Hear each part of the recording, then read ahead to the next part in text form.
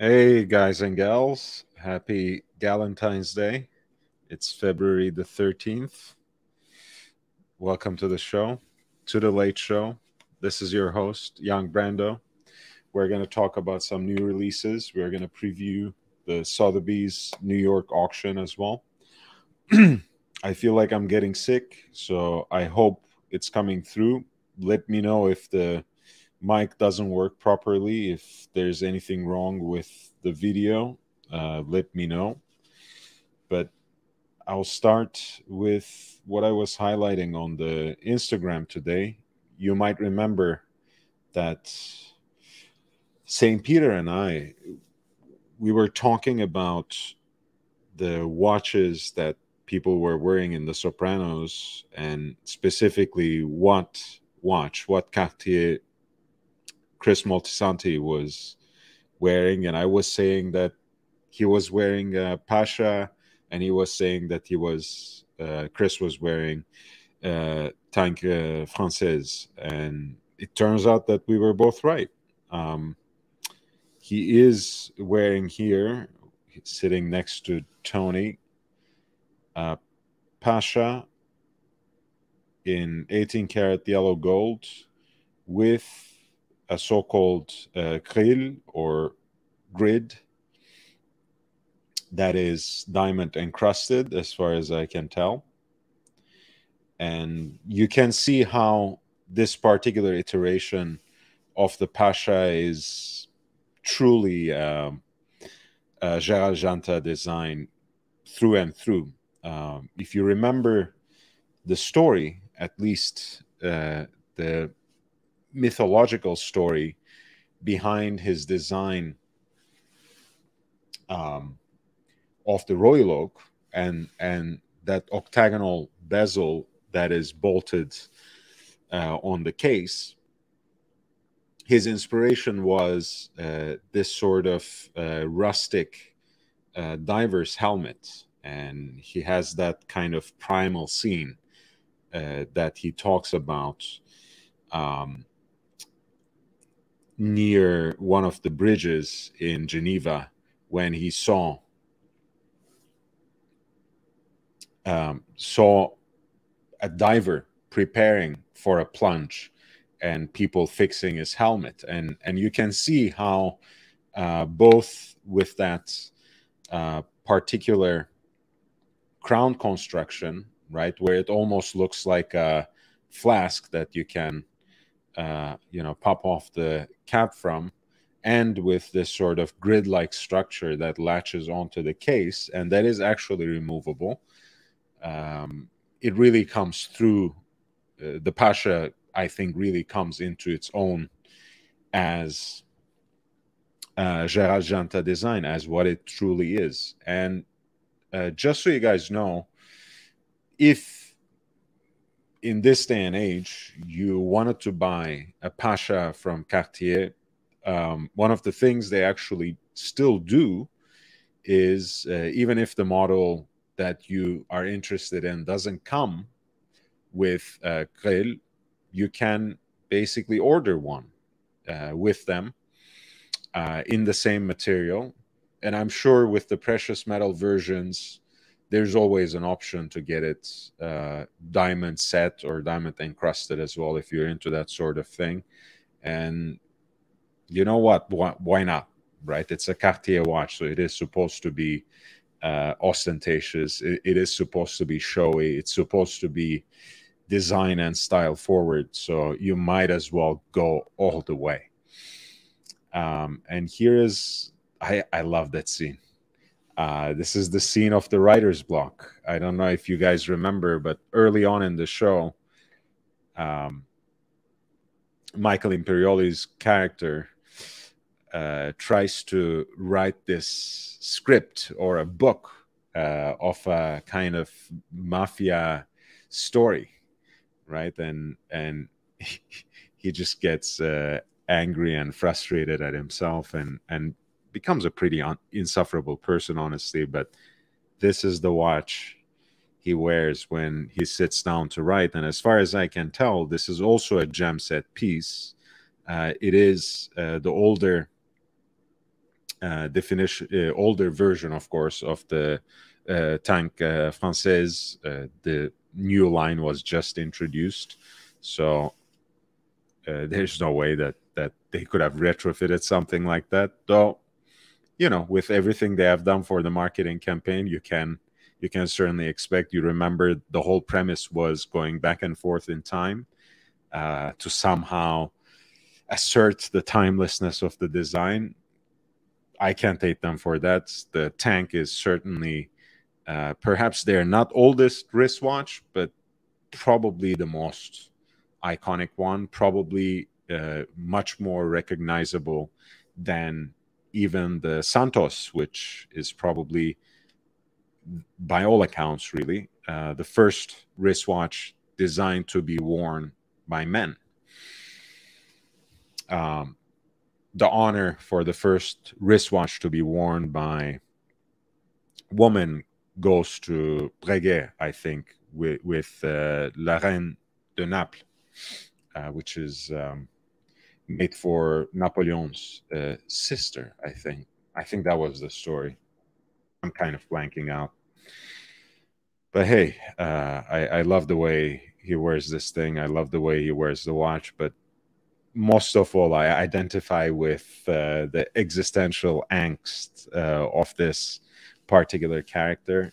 Um, as much as I like uh, Tony Soprano himself, I guess Chris Moltisanti is really uh, my favorite character as well, which is what one of the supporters here is saying as well.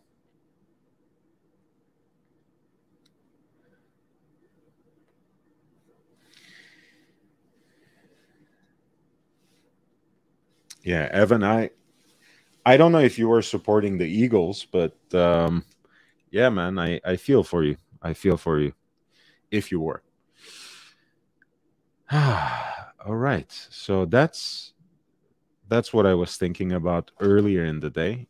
Um, and I've also realized that I missed out on on a particular Seiko release, which which I found kind of cool, uh, mostly because one of them is a take on the turtle, and the other one is a take on the Arnold, which uh, is, of course, our favorite, um, one of one of our idols on this uh, channel. Um, the I'm always afraid, even though I I can get the actual German pronunciation right, I still, well, perhaps for that reason, I have a hard time saying his uh, last name. It's just uh, sounds like something else in English, but yeah, you everyone knows Arnold, especially when you see this hybrid watch that is uh, that belongs today to the line that Seiko calls Prospex Solar. It is a diver's watch, but it is also a digital watch uh, that is expressed at the 12 o'clock part of the of the dial and finally um, the petrol color accents or the green accents i think are are quite amazing on this. I love the fact that they added that for the first 15 minutes of the timing bezel which uh, looks quite amazing. And you know it's always something functional when it comes to when it comes to uh, rotational bezels uh, in the context of a diver's watch right? That that 15 minutes is is a vital period of time underwater as well. Otherwise of course it gets all the aesthetics of the classical piece right.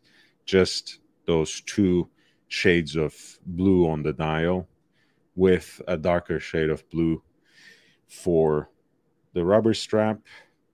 And there's also an SRPJ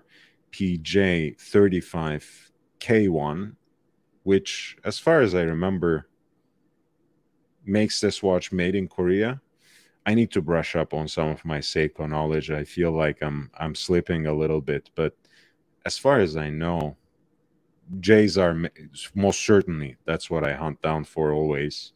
those are the ones made in Japan, usually J1 uh, at the end. K1, I think, refers to the non Japanese origin of the watch, but where um, it is actually made, I don't know. Of course, this piece comes with an aluminum bezel and an hardlex crystal, which usually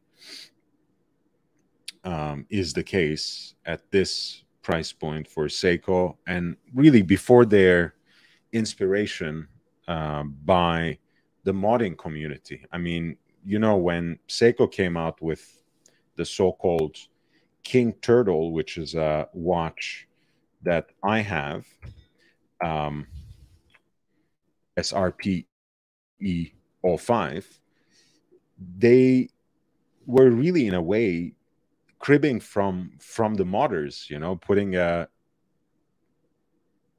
you know putting an uh, a ceramic bezel on their watch putting a sapphire crystal with with a candy bar style cyclops over the day date function all of these things were more or less um, something that Seiko didn't really pay attention to, didn't really care before uh, people started really modding their watches in a certain way. So this is uh, this is the piece that I also have in my collection. Um, instead of the hardlex crystal, it has a sapphire crystal, uh, has a kind of uh, oblong um, magnifier for the day date function, and of course um, ceramic bezel. Whereas uh, most Seiko divers at or around that that at or around that price range, you'll find uh, their hardlex crystal, uh, which is actually, I mean, I I'm always fine with it, honestly, and I do prefer aluminum bezels. You know, one of the reasons I love uh, this one, which is my original uh, SKX 007 uh, my gym watch, my pool watch, my uh, ocean watch is um, is its aluminum bezel. I, think it's it's just nice. It's just nice. Basil's bezels, man. Basil is always the first to super chat. Uh, he knows how it goes, and he remembers you to put the thumbs up hit the like button, folks.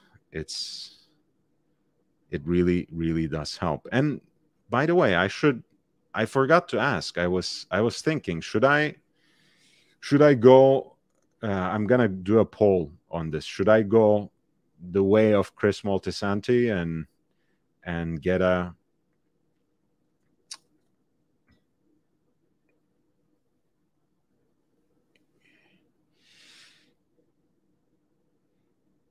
should I go uh, Chris Moltisanti and get uh, Pasha? Should I get a Cartier Pasha? Yes. No.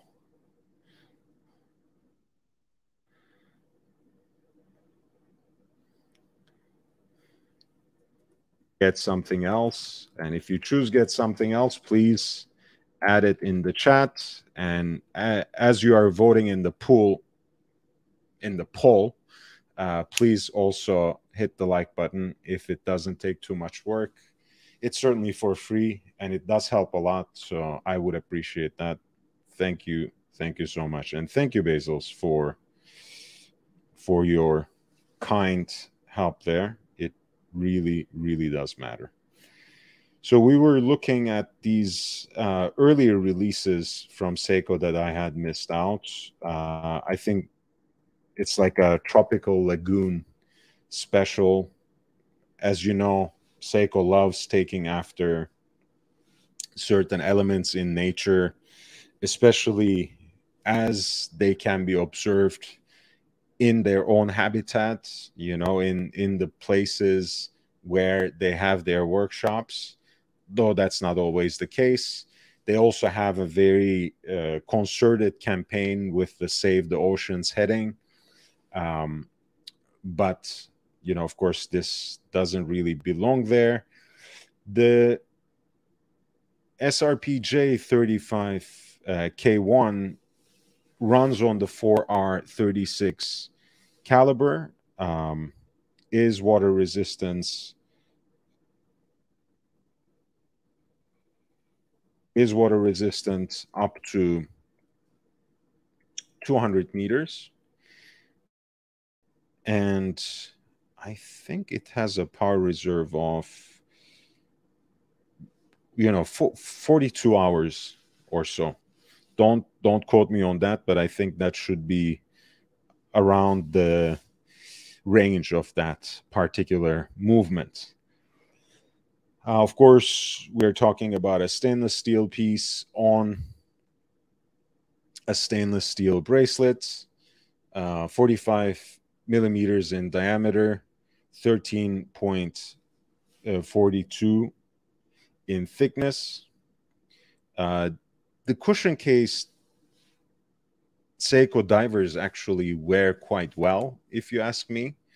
Um, my turtle is also supposed to be quite large, but I think it, it wears really well, especially on that rubber strap uh, that it comes with. Um, I, I like the Seiko divers. I mean, it's it's just the ultimate beat around all-purpose watch. They might list nowadays for four, five, six hundred dollars, but if you just put on a few keywords on eBay, certainly, you know, in a couple of weeks, you'll wake up to a deal uh, that's probably 30 40% of that. Uh, I've gotten most of my Seiko watches no more than $300. The only Seiko watches that I practically paid in full uh, was the entire set of Seiko 5 rowing blazers that I bought and that I'm giving away. As you know, the orange one is already gone. And I just pulled this out of, of the storage, the lime green dial. That is going to be going to the lucky winner of the February raffle as I mentioned, uh, every single person who super chats first in a live stream and last gets a number, uh, gets a unique number. So every time you do that, you get another number, an additional number. Um, and since we were, we had the fundraising efforts earlier, uh, last Friday specifically, for that stream and that stream only, everyone who super chatted was entered into the raffle, and uh, every single penny and more from those super chats went directly to the UNICEF, uh, designated specifically to children in Syria and Turkey. And you know you can check the community page to to see the receipts and of course the end of that live stream on Friday as well is is a great way to do that. So Basil's Bezels got number 36 today. We'll see who will become number 37 uh, by being the last um, super chat. But hey, in the meantime, feel free to uh, address your questions to me uh, with a super chat. So, uh, by all means, Shamba Basher says, I'm listening, but I should be asleep. Uh, yes, Shamba Basher, you were the last yesterday, and uh, I can confirm that you have number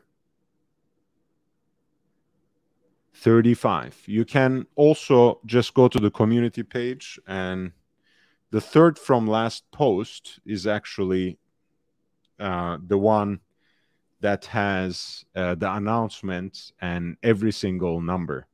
Um, of course, everyone who is listed there is listed with their uh, YouTube names, so no one is actually being exposed in or doxed in any way.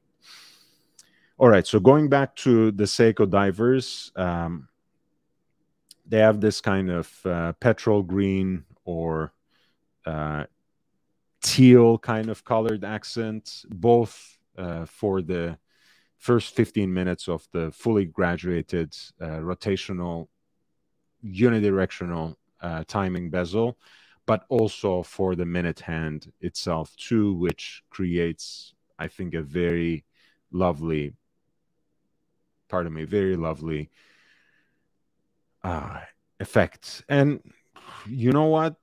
At least uh, in well lit conditions, I don't know. I've never used uh, this kind of uh, diver in in an actual diving setting, snorkel or scuba.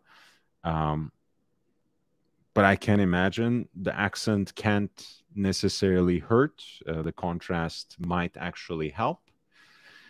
Um, nevertheless, it it looks pretty cute. It looks cool, uh, and that is the self-winding piece in the classic uh, Seiko turtle shape, uh, the cushion-shaped diver in the SRP J35K1. And then they also have an Arnold, uh, which is the hybrid uh, tuna can piece, which is the SNJ 039P1. And essentially, the accents remain the same. Again, you have a blue and green aluminum bezel and the Hardlex crystal over the dial. The case is a combination of stainless steel and black plastic. Of course, uh, this is a much bigger case, although the thickness remains pretty much the same 47.8 millimeters in diameter and 13.8 in thickness. Once again, um, 200 meters of a depth rating.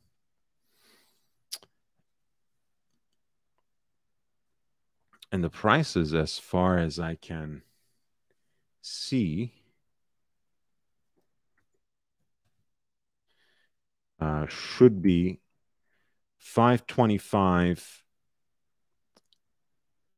for the turtle.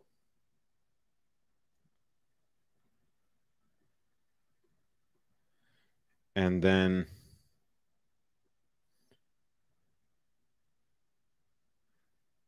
and you can find it for cheaper of course. Uh, and then also 525 for the Arnie as well. Five 525 for both Arnie and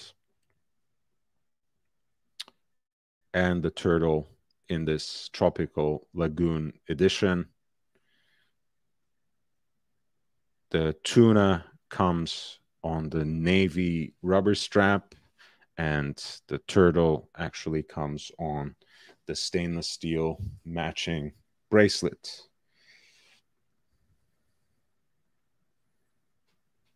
No, thank you, Shamba. Thank you. That's that was amazing. Um, next up, next up, we have actually quite a fascinating thing that I just came across on a YouTube ad, which shows you how aggressive they are going with this particular um, particular brands, uh, ship with NHLPA, which is, of course, the Players Association uh, of the National Hockey League. Um, and it's basically a kind of um, black and white version of their of their wild one. with a sort of double branding with Norqain at 12 o'clock, NHLPA at 6 o'clock. Apparently, it's a limited run of, of 300 pieces. I have not been able to uh, actually locate it and find it because their link directs you to actually to some other wild one watch. Um, nevertheless i really love the dial design. You know it i guess i don't need to try to explain what it what it looks like but for those of you who are only listening it is actually supposed to look like an ice rink uh, with with all uh, those scratches and uh, tracks from the skates.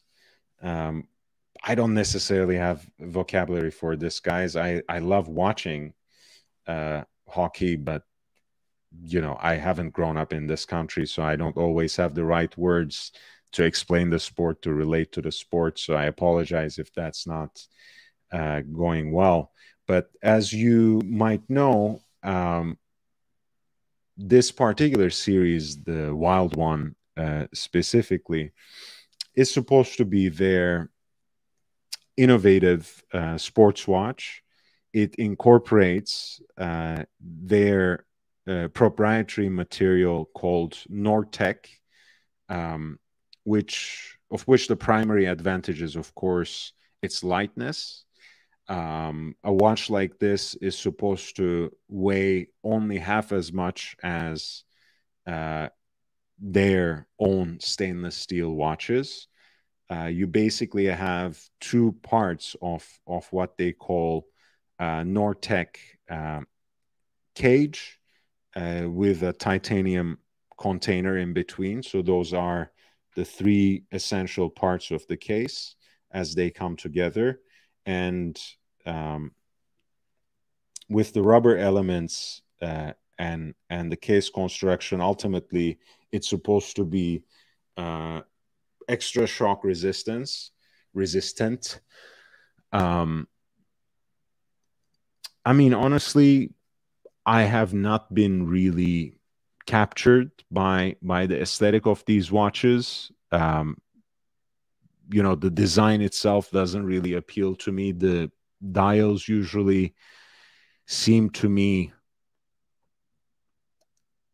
a little contrived. You know, it it does seem to me for the most part that they're trying a little too hard.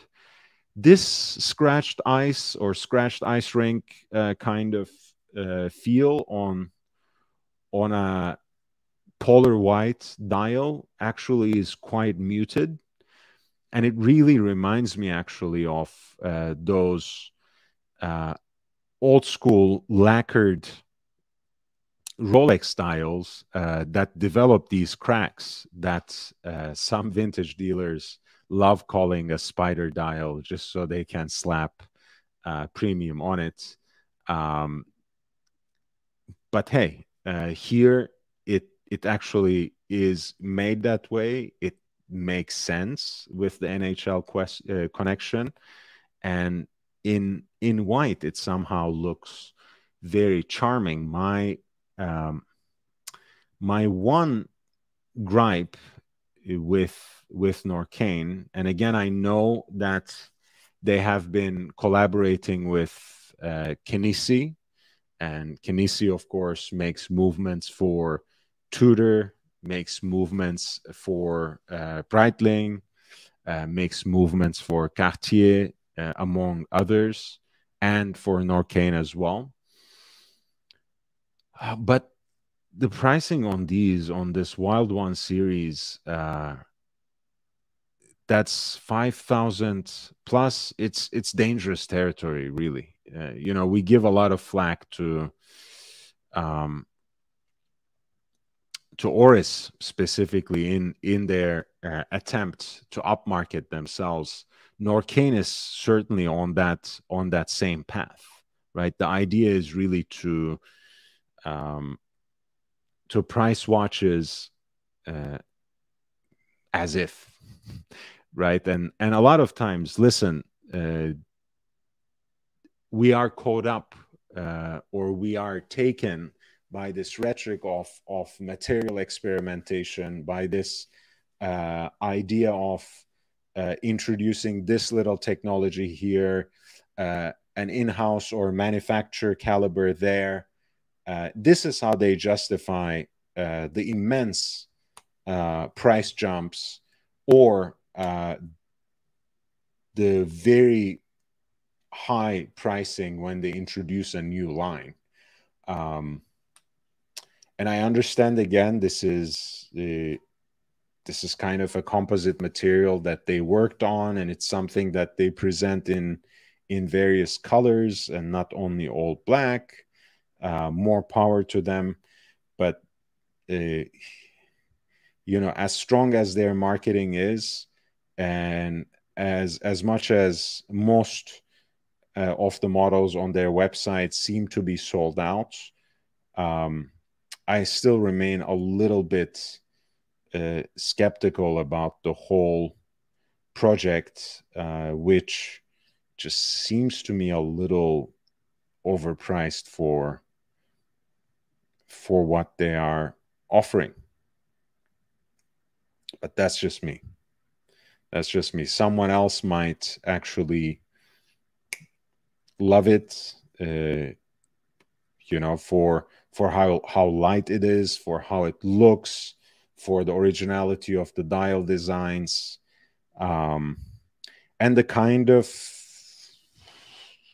following and and people that they have been cultivating around them. I mean, uh, Jean Claude Biver became a consultant for them specifically uh, for this particular uh, product line for the wild one uh, and you can kind of see. I mean, this looks like um, like a Hublot for for the 21st century. With all with all due respect to Hublot and Norqain and everyone else involved.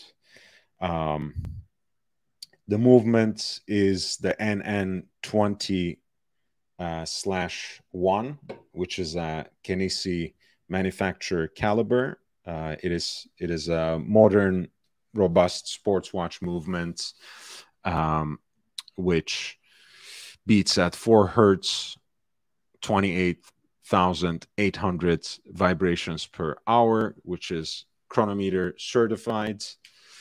Um, which also let me see actually whether this is used in in any other watches or is it is it simply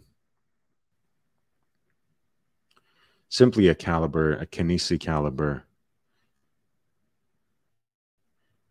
Yeah, okay. So it's basically the same same logic as Yeah, it is the same logic as the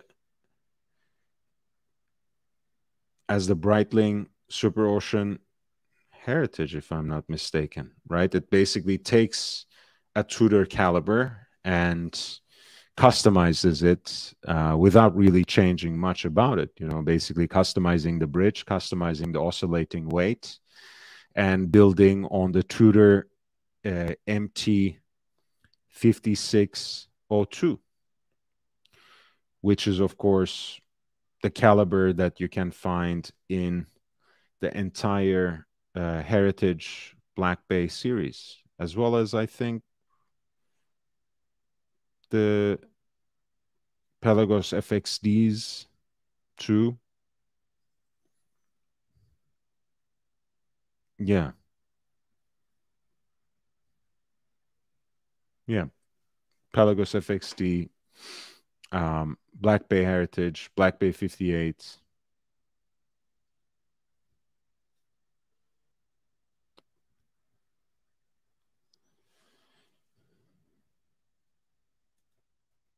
Wait a second. I think Black Bay 58 has a different, different caliber.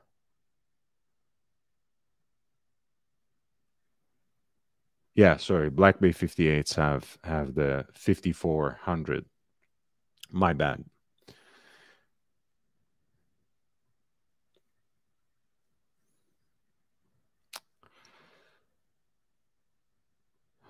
So yeah, professor and I talked about this a few times before. It really, um, it's in a way inescapable, right? At the end of the, at the end of the day, they are trying their best to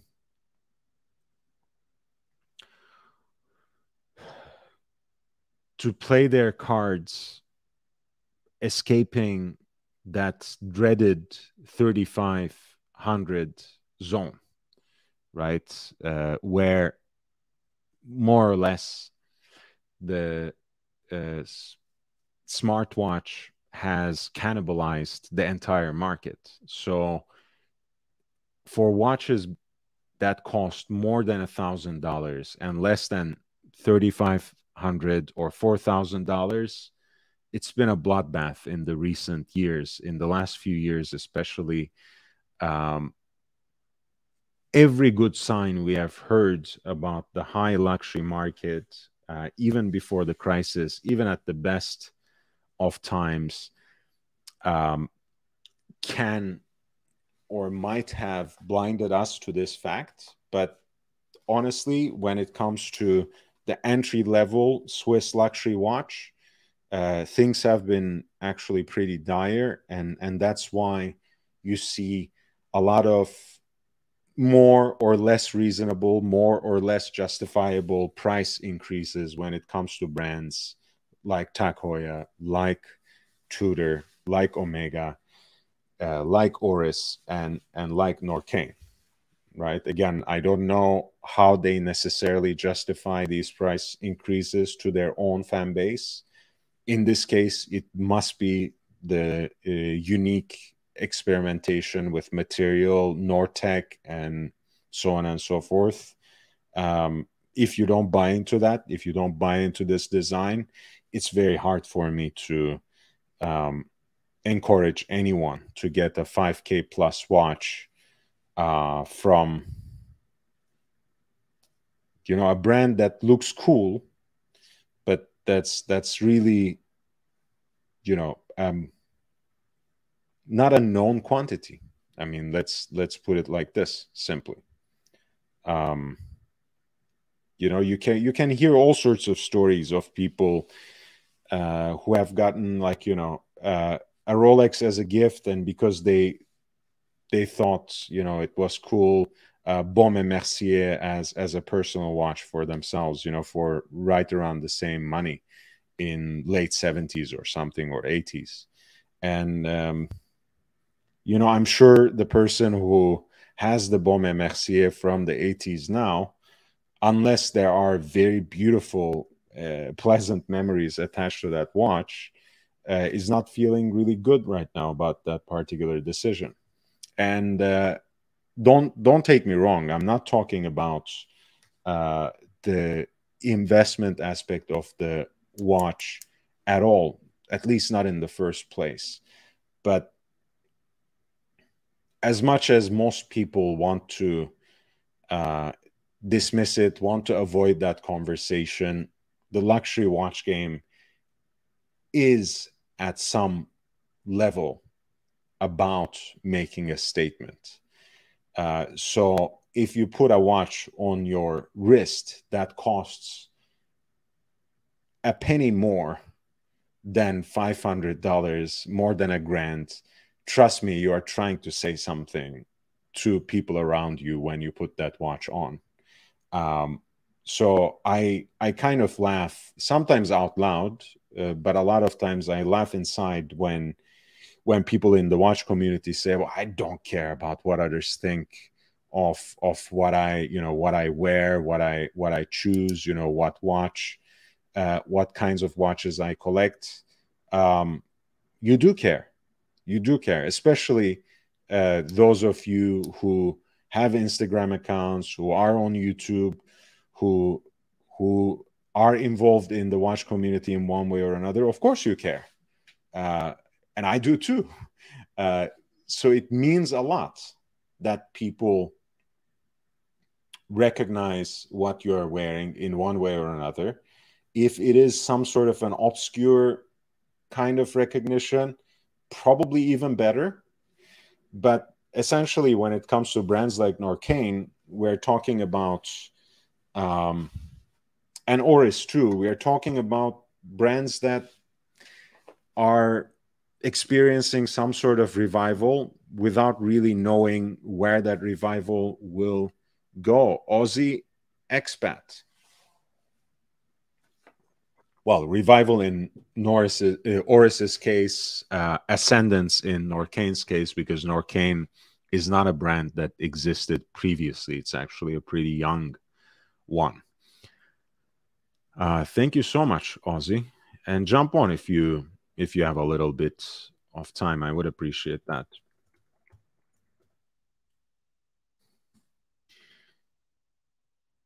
So yeah, that's the Wild One series from Norqain that is built uh, partly of that proprietary uh, material they have. They call Norteq. That's the case of the watch, and there's a titanium container um, in which you have the beating hearts of uh, Tudor's manufacturer caliber, basically uh, 50 602, which is um, repriced here as NN 20 slash 1. There's nothing wrong with that. Uh, they are uh, partners in Kenissi, uh, as uh, Chanel is a partner in Kenissi, as is Tudor a partner in Ken- Kenissi, as is Breitling, so on and so forth. So uh, there's nothing wrong with that. I'm not holding that against them. Um, but you know, unless you're really in love with that particular uh, piece of design, um, I wouldn't recommend that you go out and uh, plunk down more than five thousand dollars for a watch like this.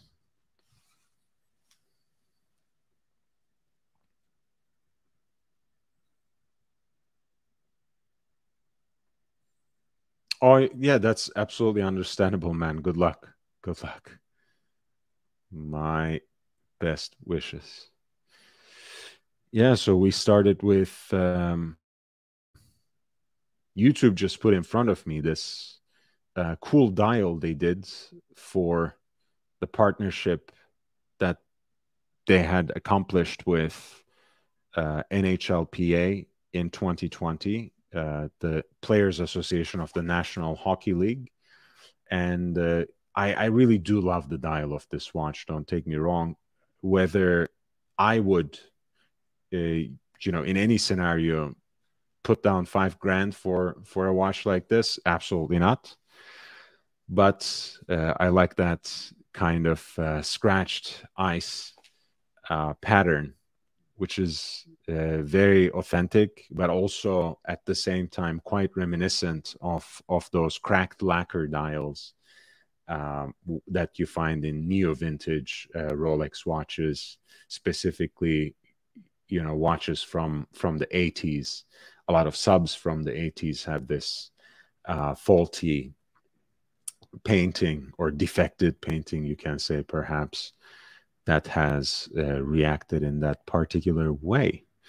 Uh, speaking brands that are trying to make the, their mark in in one way or another uh, in the horological space, I think Louis Vuitton is is a very important uh, one. Now,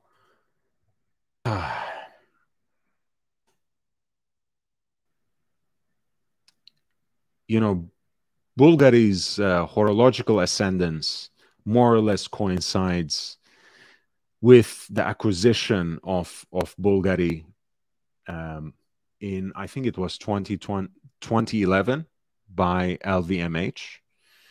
Um, that was a I think that was a good deal for Bulgari. Honestly, I'm not uh, I'm not necessarily uh, criticizing that.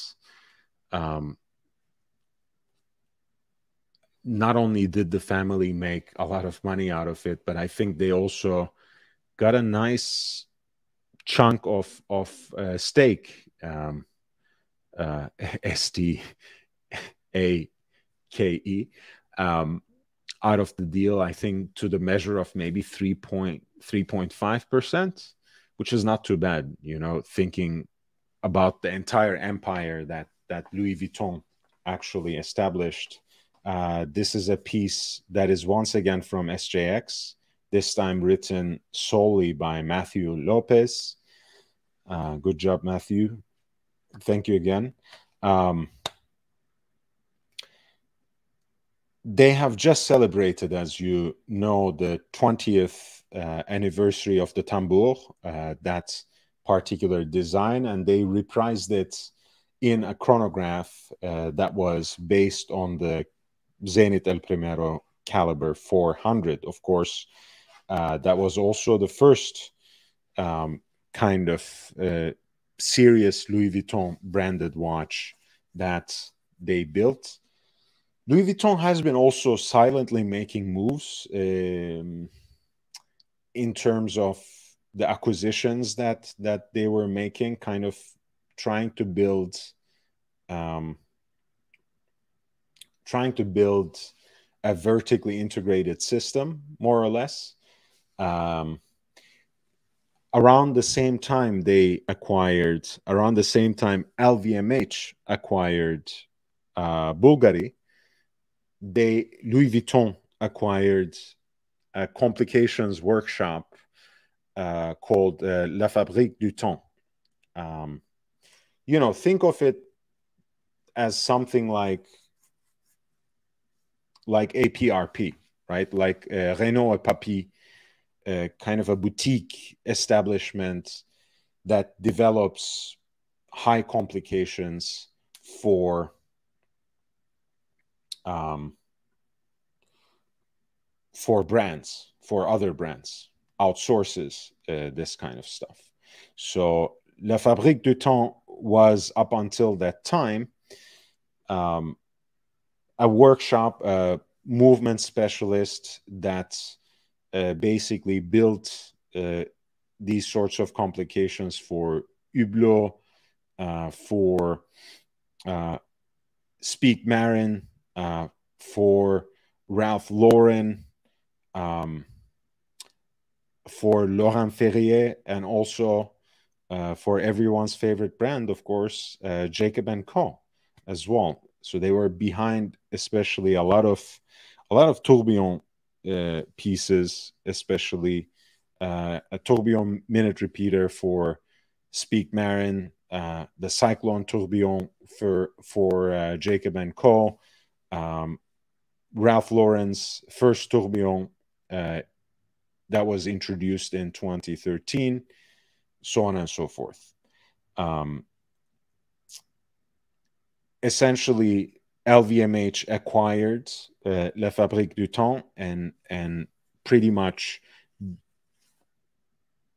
built a, uh, it as part of its its manufacture.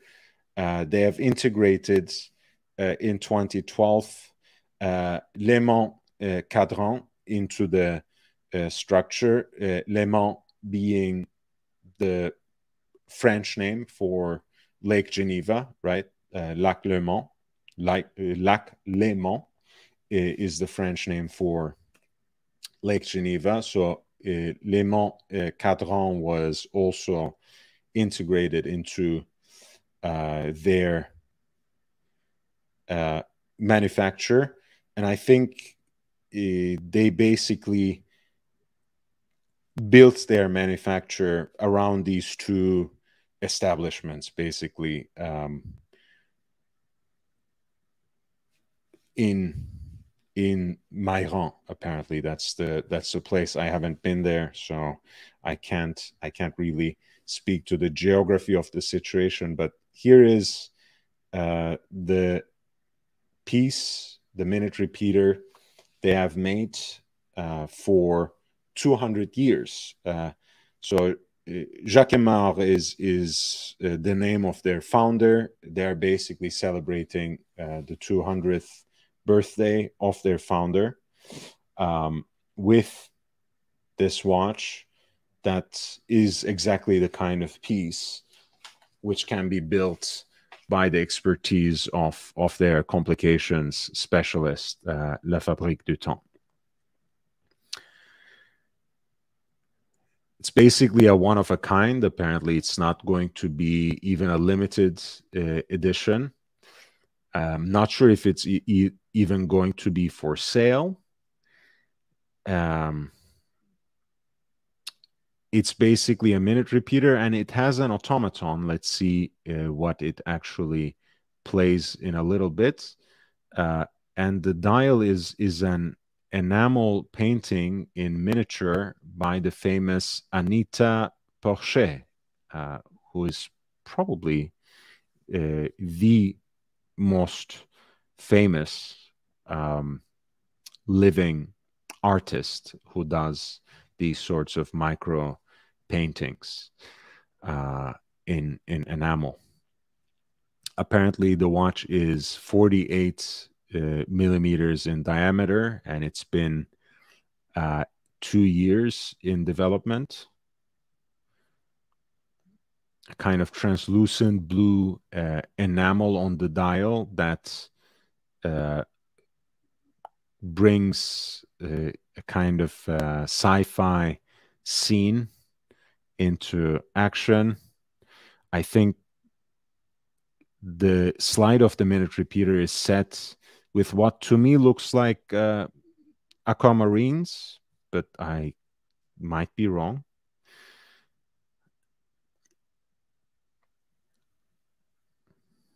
And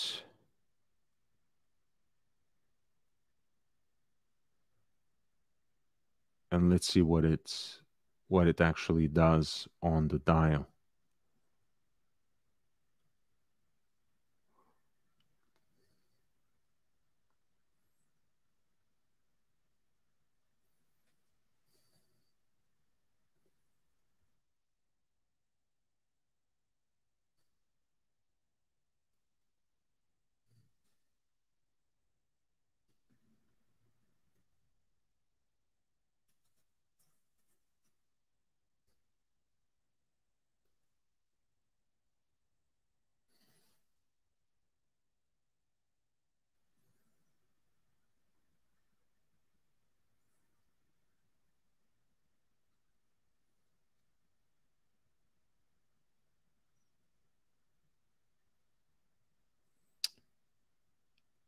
Apparently this is an 18 karat white gold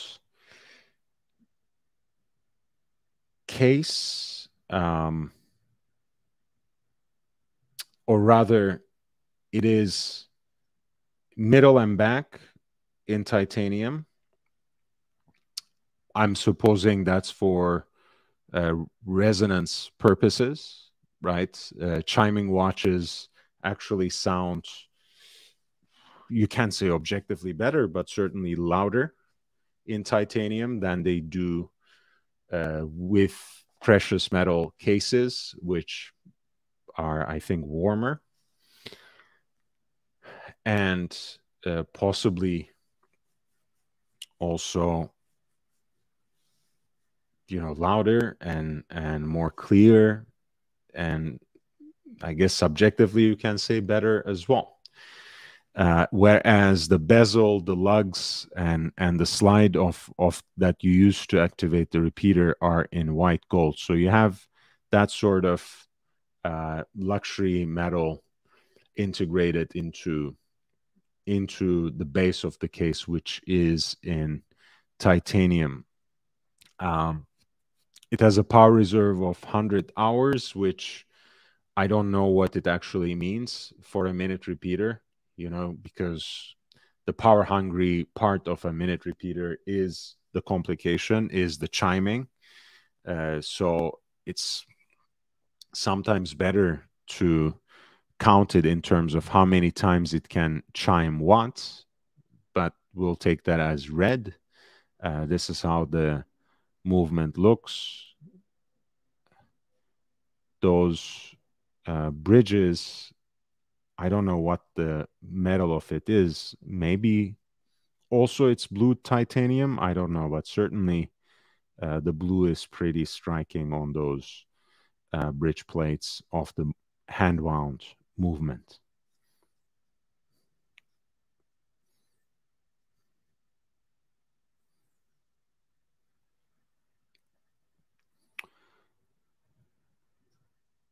And it the article actually doesn't mention doesn't specify what those um, graduated blue baguette cuts uh, gems are.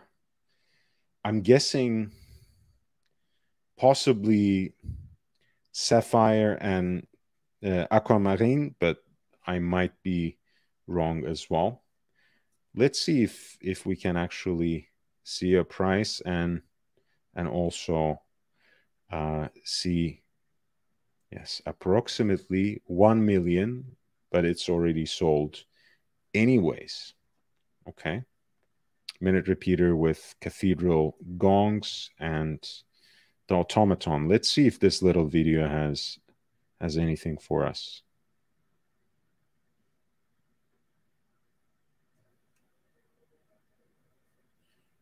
Well, at least it shows the automaton. That's pretty cool. I mean, it's a little um, not cool enough for for one million dollars, but still pretty cool and cute.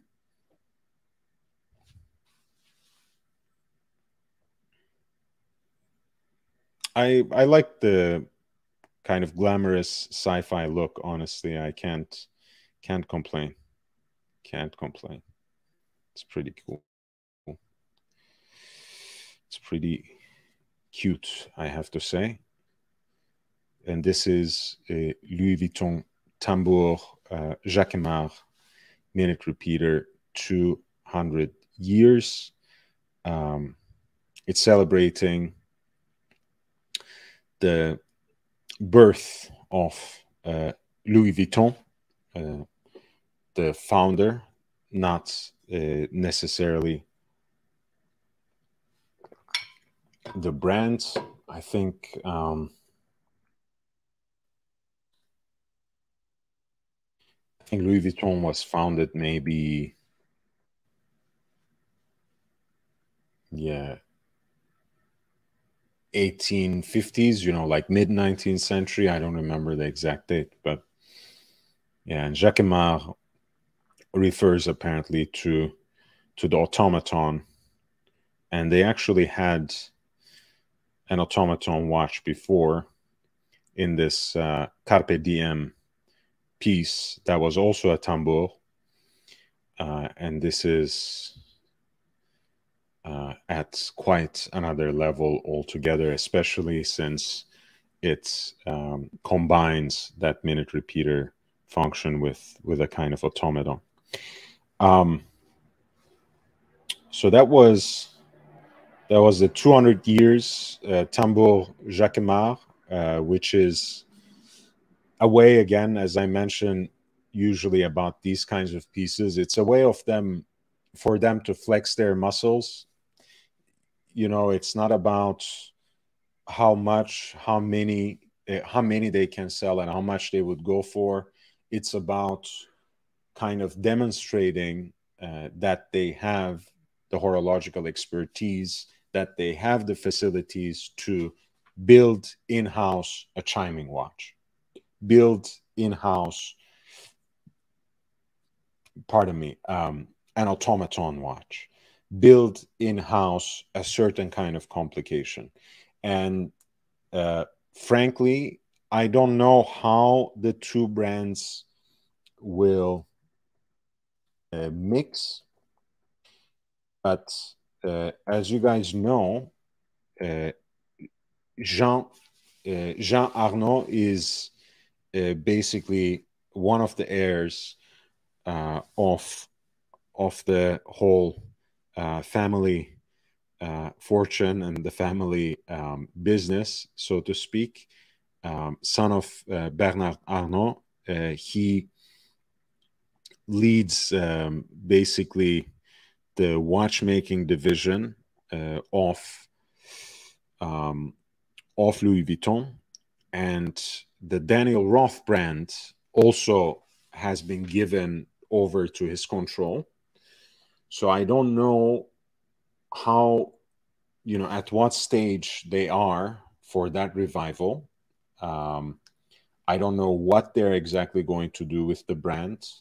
I don't know if it's going to be a kind of deal where you have where you used to have, for example, a double branding when these brands were in Bulgari's hands. You would have like you know Daniel Roth Bulgari or a Bulgari branded Daniel Roth watch, or uh, Bulgari Gerald Genta.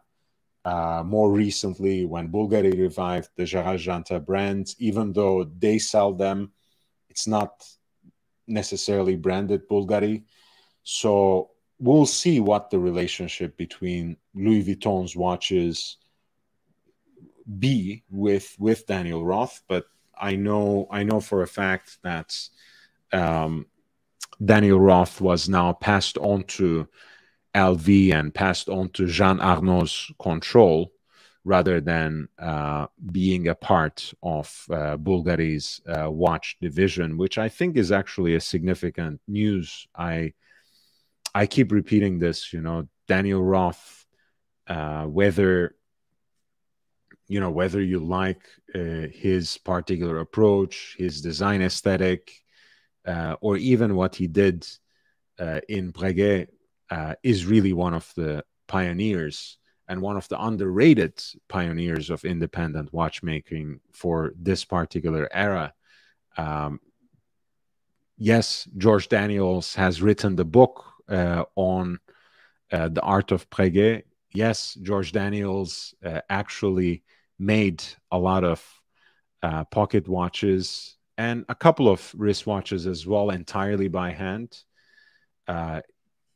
yes, you know, FP Journe perhaps uh, is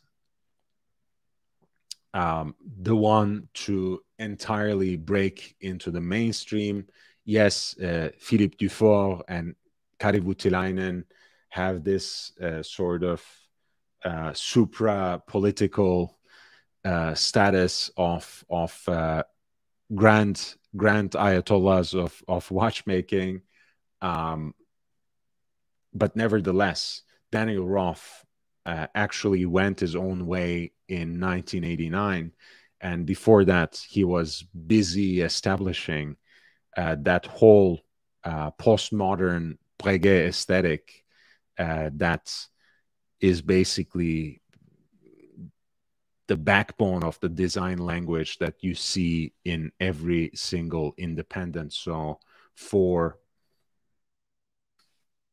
for the brands to be revived is important, and for specifically for uh, for the name to be used without any involvement from Daniel Roth. I think it's pretty significant. There you go. This is the Instagram account with their uh, single post. And uh, we already have have some wonderful people commenting to the post. What's the sense of a Daniel Roth if it's not from Daniel Roth? uh, I would actually slightly adjust that question, right? The, what's the sense of of Daniel Roth brand if you don't have any involvement from Daniel Roth, right? It's I, I don't know. I don't know. Like with Gerald Genta, it's it was a little different, I think, because he had passed away in 2011. So when Bulgari releases watches now, you can classify it in in some sort of uh, you can classify them as some sort of homage, especially when they actually put uh, the Gerald Genta name uh, on the dial. And I hope uh, they also do that in amicable and preferable terms uh, with the family and with Evelyn Genta specifically, uh, Gerald Genta's widow. Um, the Daniel Roth project I don't really understand because Daniel Roth is alive and well. I know he doesn't run an industrial or mass production brand, but he he does have um, his his own brand where he makes a handful of watches. Um, and there, there's a whole archive of Daniel Roth work that needs to be honored a certain way. I, I hope they they pay some dues to him, uh, at least in respect, right? As the as the famous verse goes, right? You know, I don't need the money, pay me in respect. So I hope they at least at least do something about it um, in a way that uh, that honors honors the actual founder, the namesake of the brand. Um, Daniel Roth's own brand is uh, JDN, basically uh, Jean Daniel Nicolas, um, after his wife and son, or sons, perhaps. I I don't know. Maybe he also has a son with the name Daniel. Anyway, but I think it's it's his wife, his name, and his son's name. So that's the that's the actual brand which has uh, Daniel Roth at the helm.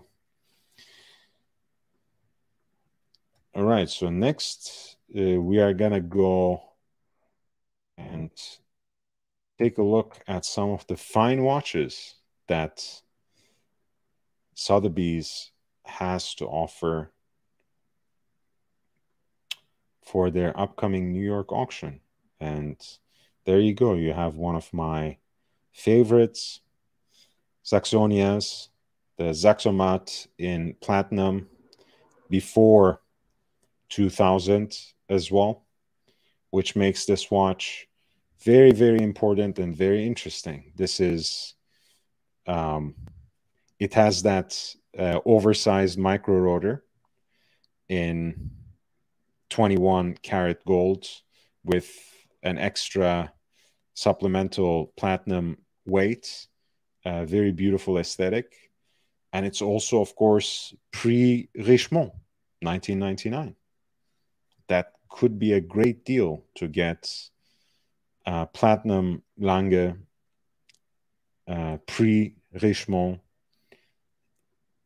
with a caliber that they don't use anymore. Not that I have, not that there's anything wrong with with the full rotor um, caliber that they use right now for for the Saxomats, but there's something about this aesthetic that I really like. I always like micro rotor calibers, but as always, you know, Lange kind of went its own way and and did something uh, in excess. So I I really really enjoy this. This is the lot one from the March 7 uh, auction in Sotheby's, New York uh, reference 308 025 Saxomat, platinum self winding piece from Lange. Even with, uh, look at this. I mean, this is archival material. 1999 dates, uh, Walter Lange's personal signature, stamped by the famous Cellini, in New York on Madison. What a piece. The estimate is 10 to 15,000. I don't know. It's coming home. It's coming home. It's coming to New York. I don't know what kind of interest it, there would be on it. The dial is extremely balanced. Of course, you have those uh, classic alpha hands that are filled with lume, um, the pips behind the index markers as well, which are doubled at at 12, uh, 3, and 9, and abbreviated at 6, since you have again a very oversized small seconds dial, which ultimately I think comes out very balanced since the oversized date is very much the aesthetic of, of this watch as well. You see the stepped lugs of the platinum case. This must be a delight to wear. full set with that uh, archival document basically 37 millimeters i think just the perfect um, proportions for this sort of platinum dress watch you see this subtlety of that uh, pusher which allows you to shuffle through the date, of course that oversized date. my god what what a what a beautiful piece the with the 920.4 caliber estimate they give here is 10 to 15 thousand dollars. Though again i'm guessing in new york probably this will be this will be snapped in a pretty interesting way. The immediate example that we have of course is the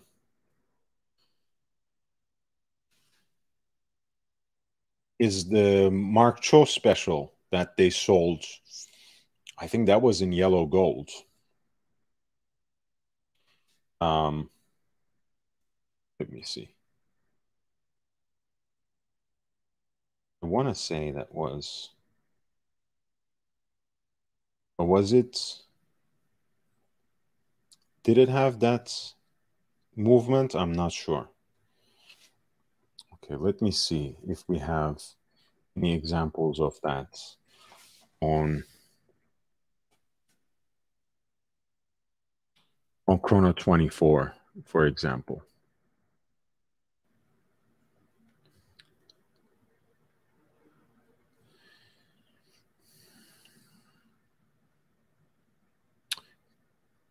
Case material. I highly doubt it. They're only like three. Ooh. Yeah, unfortunately, the only one that we have is so-called Darth version of the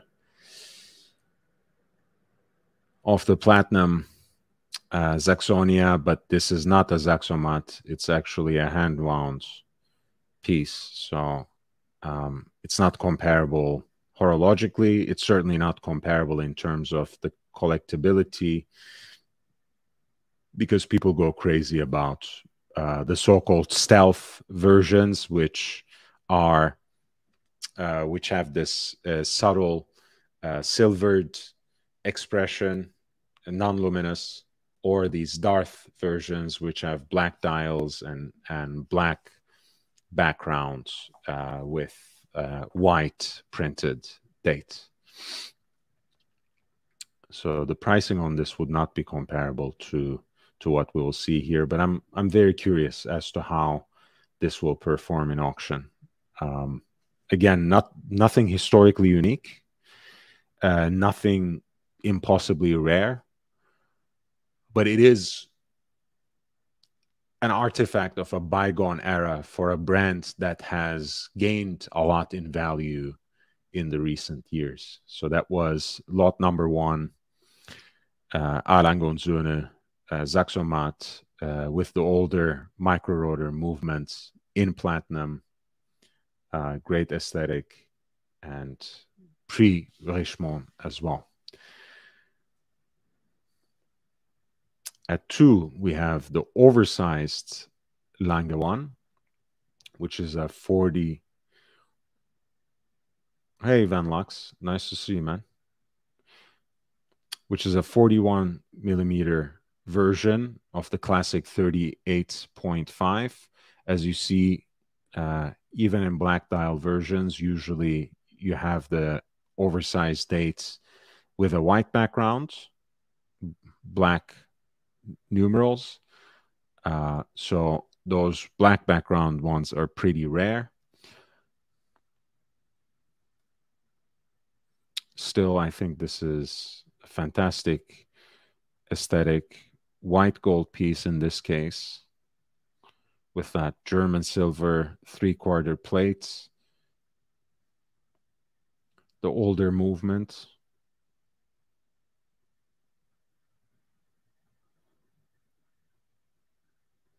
2017.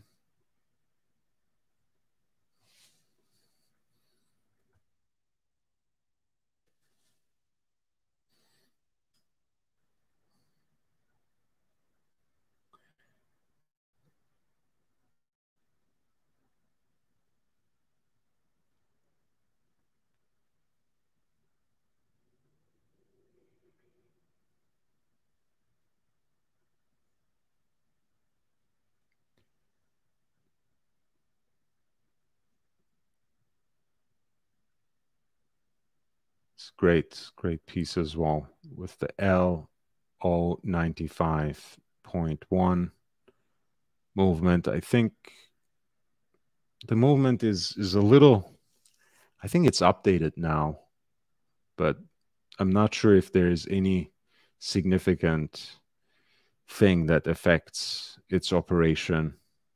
It certainly still has a three day power reserve, which is proudly indicated here uh, power reserve 72 hours. And of course, the power reserve indicator is on the dial as well. Practically an enlarged version of the Lange 1 without changing much of its aesthetics. Uh, here at 10 o'clock, you also have the pusher to actually set the dates. And for number two, lot number two, you have an estimated uh, value of 15 to 25,000 US dollars. Number three is uh, Laurent Ferrier Tourbillon.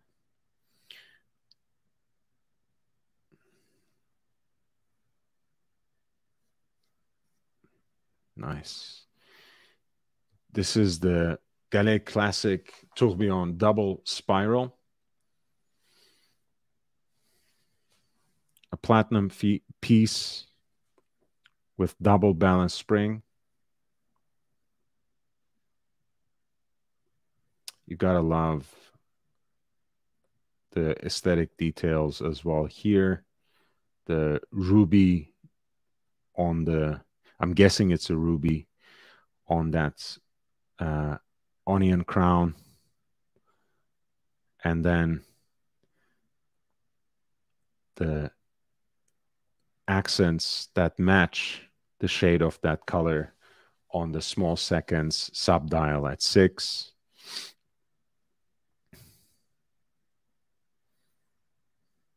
And you can have a very nice glimpse onto the tourbillon from from the backside. The anglage is pretty good as well. And there's some extra uh, decoration on the case on the back as well as it would befit a watch like this in platinum, of course. I guess that's the original strap. And you also have a new strap with the matching clasp,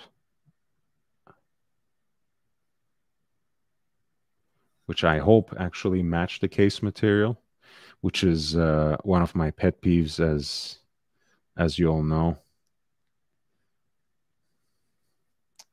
I don't think they say that. No, it's it's a white gold buckle, man.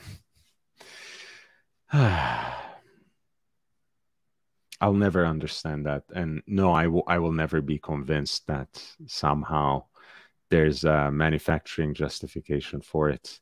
This is lot three, the Laurent Ferrier Classic Tourbillon Double Spiral, platinum piece with a double balance spring from around five years ago.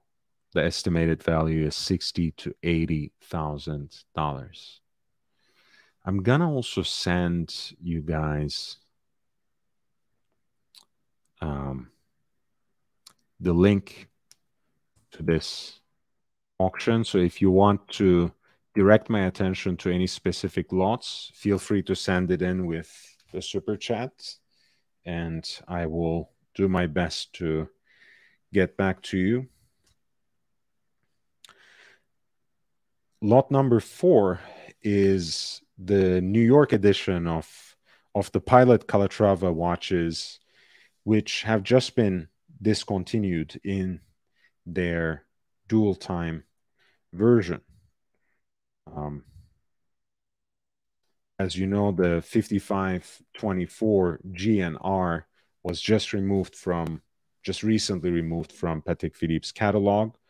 Uh, when those watches were first introduced, um, Patek actually made a New York edition uh, as a three-hander uh, with exclusively for the U.S. market uh, in 2017. As you see, a very puristic, simple design, um, replicating that pilot watch aesthetic, uh, slapping small movement in an oversized case, which is signature contemporary Patek Philippe. Uh, more power to them. They can slap any movement into anything, and people will keep buying. It's not their fault.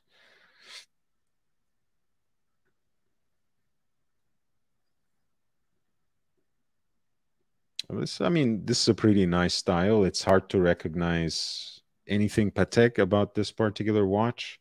And quite frankly, these watches in this version, which has been pretty limited in number, or in the dual time version, which has been otherwise really desirable, uh, they're not really selling too well. So we'll see how this performs. Um, the estimated value is 20 to 30 thousandths. Uh, this is also a stainless steel watch. Um, again, all these things that can make it quite desirable otherwise. It's 42 millimeters. You don't find 42 millimeter uh, Calatrava style pieces every day. Um, but some of the recent examples have not really performed really well.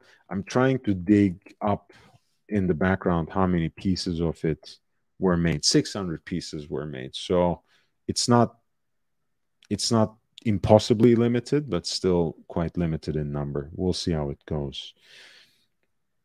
Oh, this is a cool one. Uh, 50 70 in platinum, also an absolute unit of a watch, of course.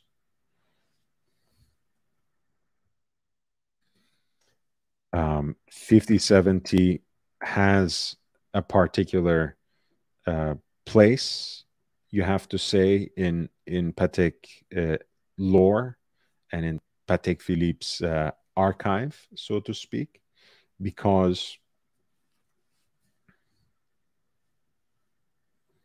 because of the size was of the watch itself, which is 42 millimeters, but also um, because it is the last reference uh, that actually runs on an iteration of of the Lemania CH27 caliber. Um, 5170 was uh, the first uh, version of the CH29 base calibers, which are Patek's version uh, of an in-house hand-wound chronograph movements. 5070 is also important because it was introduced, I think, towards the end of the 90s, probably 1998. Um, and it was basically the first serial production uh, hand-wound Patek chronograph after the discontinuation of the legendary reference 1463 Tasti Tondi, uh, which was, you might say, uh, Patek's version of a sports watch at the time, right? It was uh, this sort of classic design, um, with a waterproof uh, case produced by Francois Borgel. Uh, so a very important uh, piece in its time and still uh, still one of the one of the most desired vintage collectibles in the Patek Philippe uh, catalog.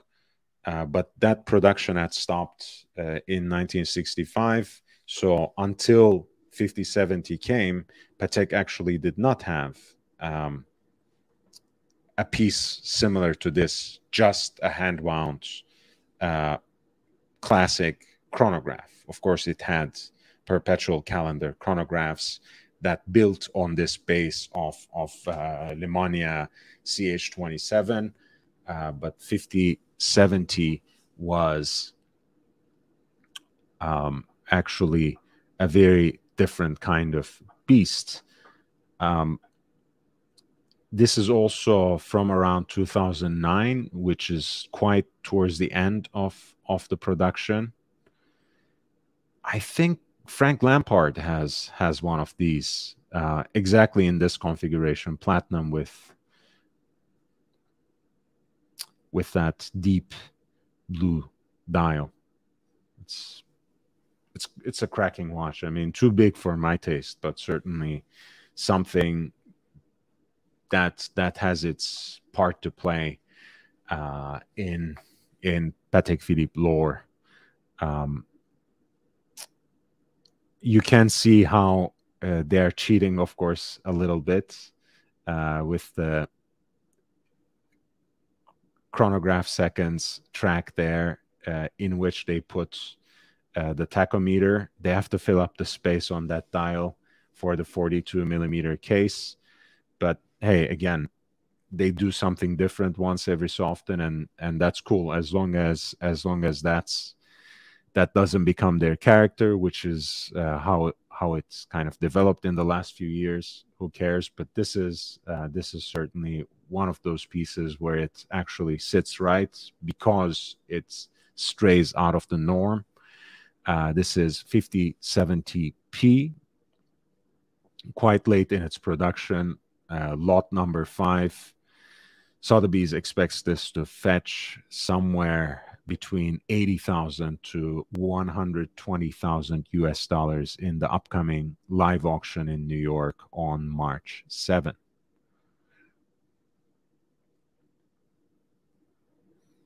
Chris says 5070 is better than 5170 for me. I can agree with that. I can agree with that. Um, again, it's too large for my personal taste, but that does not in any way uh, diminish its historical importance, which is again, uh, in many ways, unmatched. Right? You get you get an oversized chronograph. Uh, you get Patek's last take uh, on on the classic uh, Lemania CH27 which is basically the chronograph caliber that defined, you might say, the 20th century. Um, so it's it's certainly that sort of piece, you know, that that belongs to, I think, a serious uh, Patek collectors um, spread. Um, especially if that person is interested in chronographs. Speaking of that, uh, number six, lot number six is that uh, 5170p with uh, baguette diamonds for the indices.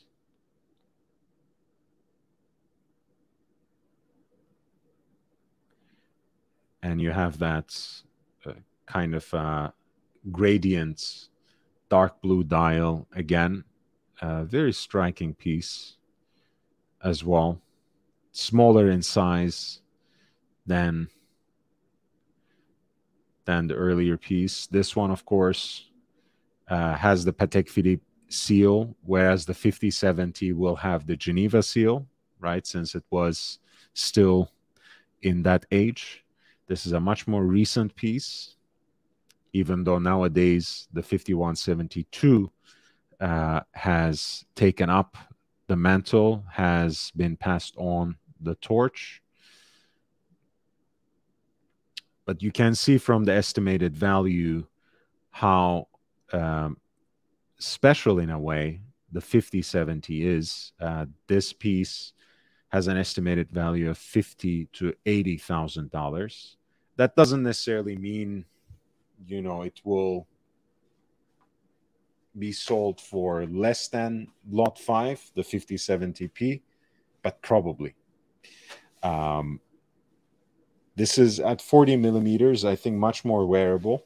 Uh, to me, uh, still an exquisitely beautiful watch, but for a collector's sake, you know, if you are uh, rolling uh, in these deep waters, uh, I would I would very much say go for lot five, which is uh, much more rare and much more historically significant, whereas lot number six is just stunningly beautiful and I think a great watch to wear, period. But you know, who knows uh, you know how it will um, trend compared to the 5070p which is nothing like what comes after it. It's the end of an era in many ways. This is the 5070p you can see the geneva seal there. Yeah and you know ch27 is a beautiful beautiful movement classic architecture. Uh, the column wheel is hiding there under the screw.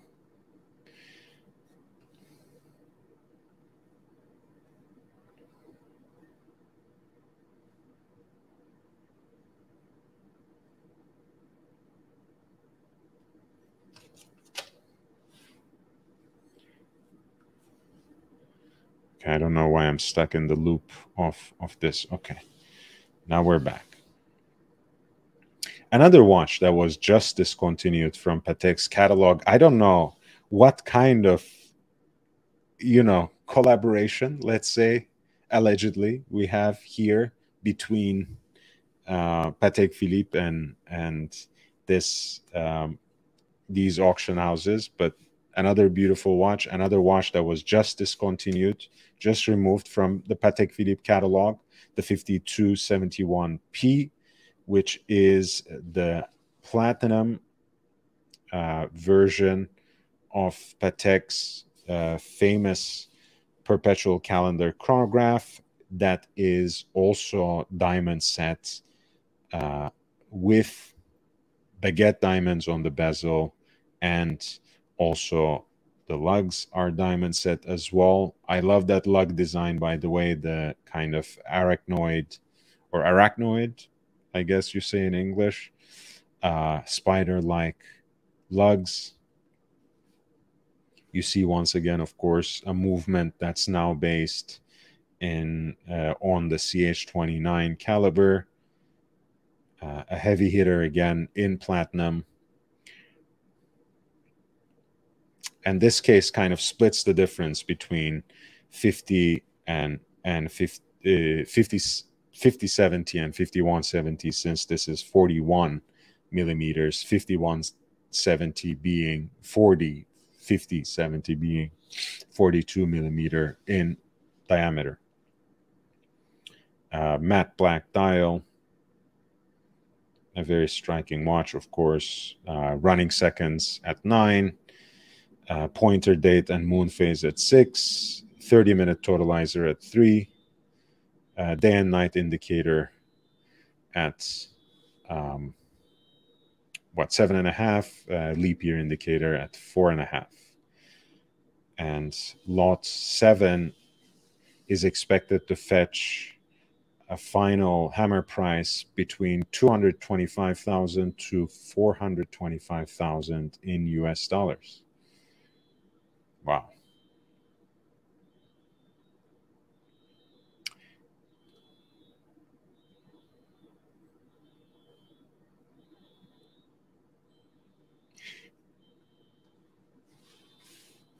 Number eight is actually one of uh, one of the my favorite watches to grace the Patek Philippe catalog in recent years.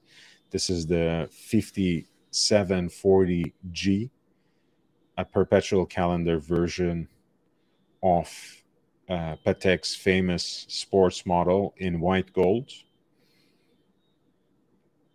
It's quite a watch, uh, especially uh, because it combines that sort of heft uh, that is owed, of course, to uh, white gold piece with a full matching bracelet, but it's also quite slender uh, owing to that micro rotor caliber 240 based perpetual calendar movement. It's really a fantastic piece.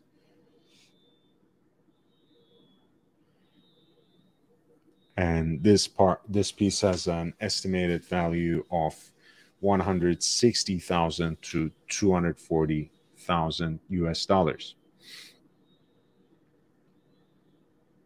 It's the it's Patek Philippe uh, Extravaganza, the first 13 and all quite interesting as well.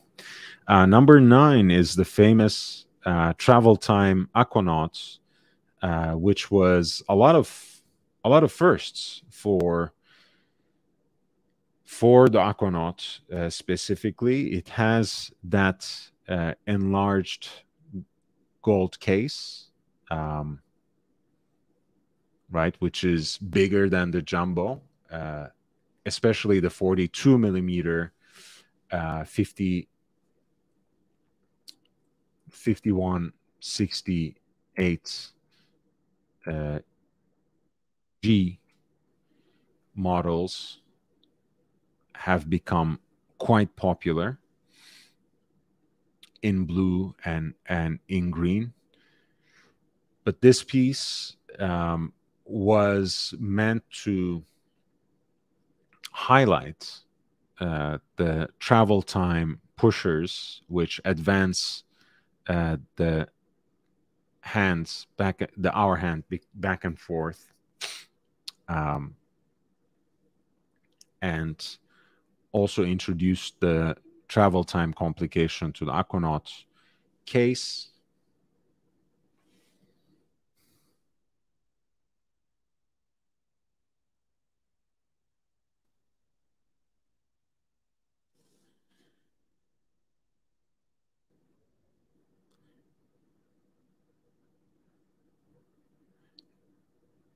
And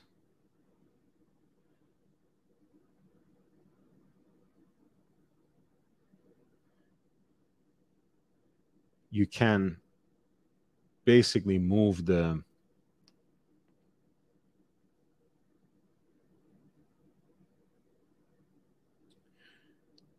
basically move the primary hour hand and and set the skeletonized uh, with with the crown. Uh, this was the advanced research piece, quite quite limited in terms of access and in terms of number. Uh, 5650, of course, again, you have that double um, AM PM indicator, double day and night indicator for the local time and the home time as well. And the cutouts specifically um, display how these pushers engage. So they have some sort of a purpose. I call this watch the Terminator, you know, kind of that Arnold scene where uh, his machinery is exposed for no particular reason to say, hey, uh, there's a machine under this, um, you know, uh, seemingly android person. Um, anyway, this is this doesn't make me hot, but since it's so rare uh, and since it's an advanced research piece, it's exactly the kind of piece that would hit exorbitant amounts in an auction. Though I also wouldn't be surprised, you know, if they don't find the right buyer for a piece like this, they might have a hard time moving it at half million dollars. So we'll see. But this is lot nine with an estimated value of 400 to 600 US dollars.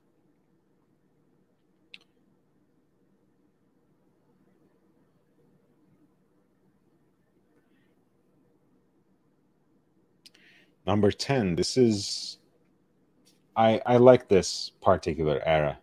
the 3900 series, you know, whether we are talking about 3940, uh, the perpetual calendar, pure and simple, or 3970 here, uh, 3970 EP-20, which is the perpetual calendar chronograph uh, in platinum.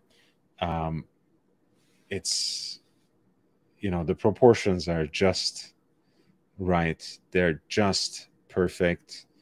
Um, let's dive in a little bit. This is, uh, of course, at 12 o'clock, you have the day of the week and month. Uh, you have the running seconds at, at 9 o'clock, but also a 24 hour indicator uh, that's lodged, that's nested right in that subdial. Uh, you have a 30 minute totalizer at 3 o'clock. I also love the fonts on this piece. Um, and lodged within that you had you have the leap year indicator as well of course and then you have that black and white moon phase for this particular piece with the black dial um, at six o'clock and a pointer date as well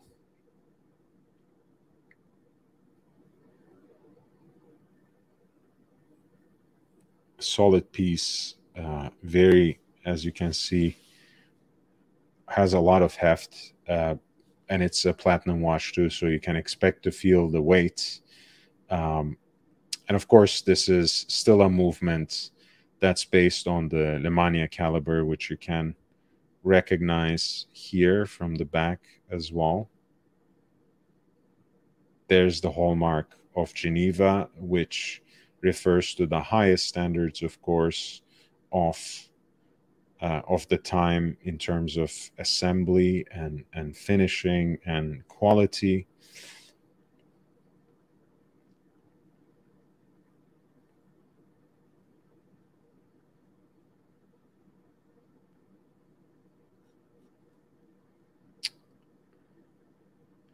And this is a piece at lot 10 that has an estimated value of 80 thousand to one hundred and twenty thousand US dollars.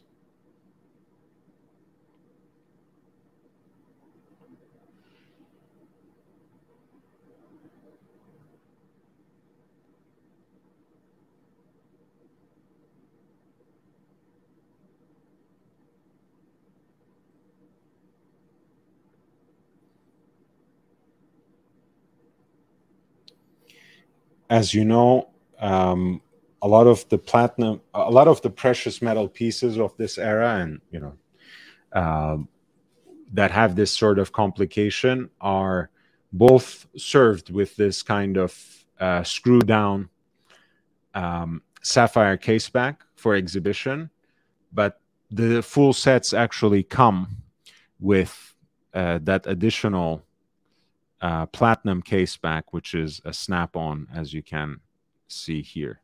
So you're not cheated out of the material. Number 11 is uh, basically a slightly more simplified version of what we had seen in 5271 uh, P. This is 5270R, so the perpetual calendar chronograph in pink golds. Uh, those lovely lugs again, the 41 uh, millimeter case size. Uh, I think stragg- straddling uh, both the modern and and classic expression quite nicely, uh, but is certainly more aggressive uh, in its communication, let's say, in terms of both the size and the design of the case. Uh, you have the additional snap-on case back there. And the sapphire case back for the presentation.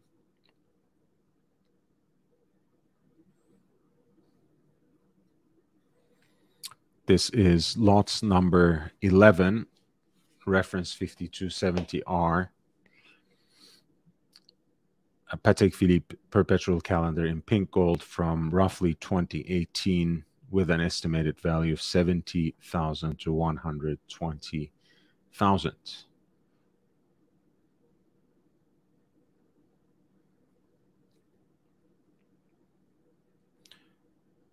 Number 12 is a pink gold annual calendar, Patek Philippe piece. Hey, JB and Chris. Thank you. And yes, congratulations. Yes, you are your your team won the Super Bowl, uh, whatever that is. But uh, I like I like the concert in the middle. Um, number twelve, pink gold annual calendar. As you know, uh, when Patek introduced it in it in 1996, it was their proprietary complication. It was basically a way of of simplifying, perhaps making slightly accessible the perpetual calendar. Um, kind of a more useful complication rather than a grand complication, but certainly an, an amazing one, I think, a very utilitarian one, since uh, the only time you need to adjust uh, these things, uh, you know, as long as you keep wearing it as long as you keep pardon me you keep it charged so to speak uh, is the end of this month. Other than that uh, the annual calendar uh, can be left to its own devices um, for the rest of the year. You have the date at 12 o'clock day of the week at uh, 10 and 10 and a quarter and then the month at uh, one and three quarters as well with a 24 hour indicator at, on a subdial at six o'clock with the moon phase expressed right within its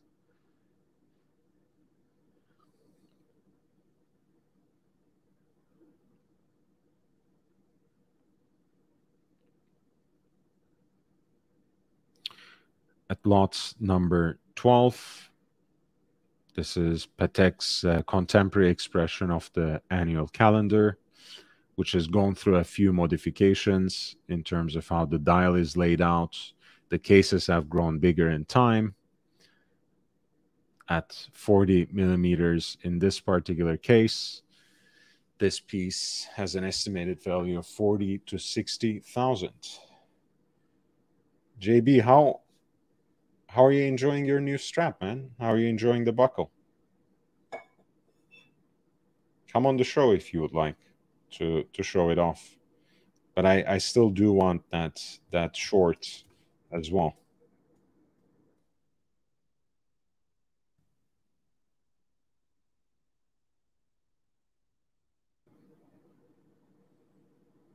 Mm.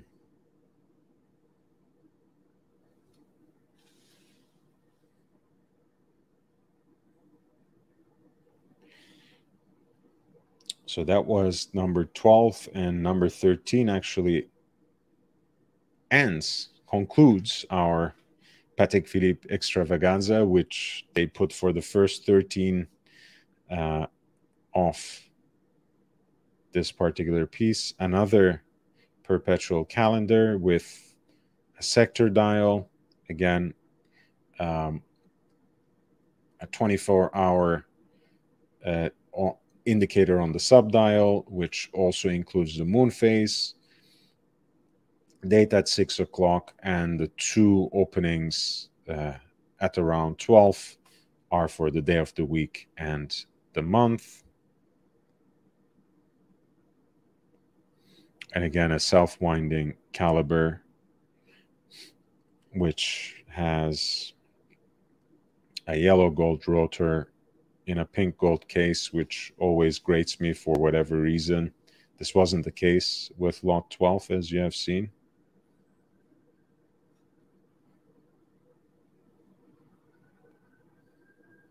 Nope. Yeah, this is from about a decade ago.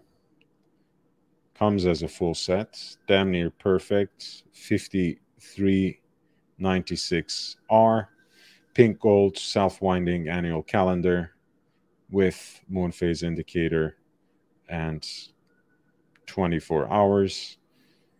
Lot 13 is expected to fetch an amount between 25,000 to 45,000 US dollars.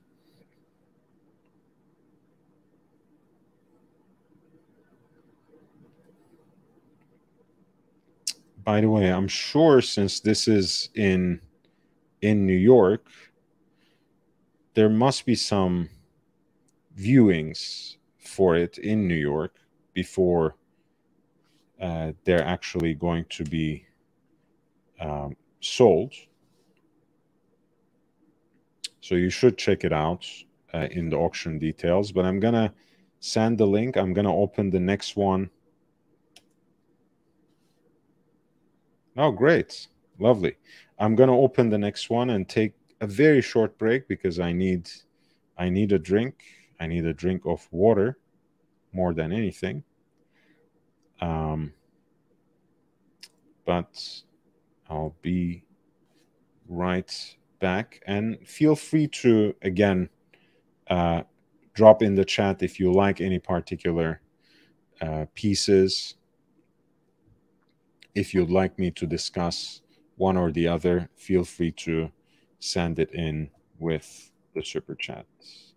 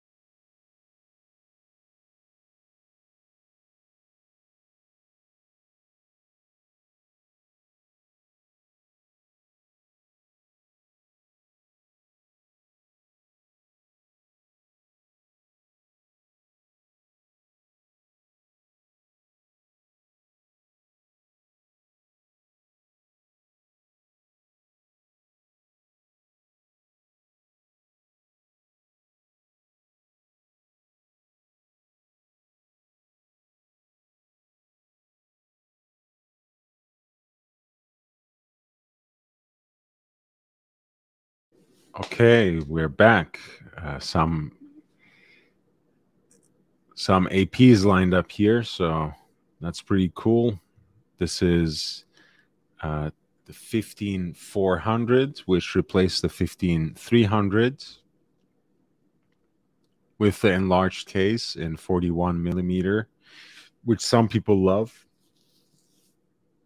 Uh, others uh, look for either the original proportions of the jumbo or um, look for the 15300 which had a similar aesthetic but actually with uh,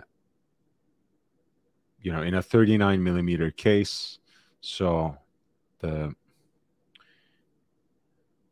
centrally deployed seconds hand is something that that a lot of people uh, ask for and similarly, um, also the AP logo, the initial logo at 12 o'clock was something that was quite um, quite significant for for the 15 300 as well. 15 400s is a larger case is a slightly different expression but the general outlines and the idea remains. Um, also, AP's, um, you know, AP's 15300 for, was for the longest time the closest thing you can get to a jumbo with an in-house AP caliber, basically, uh, which only graced uh, the innards of of uh, uh Royal Oak Jumbo uh, just last year in 2022. Uh,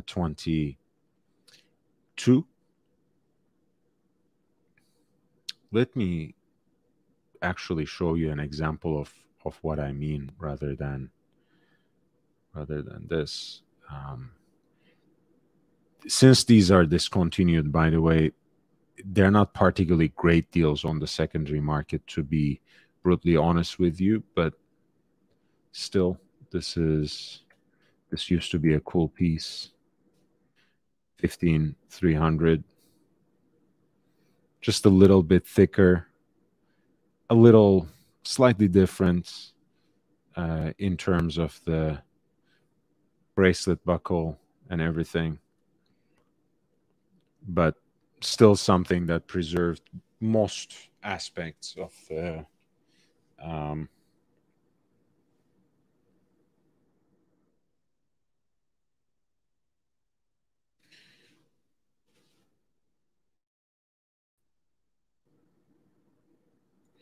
of of the Royal Oak design in that particular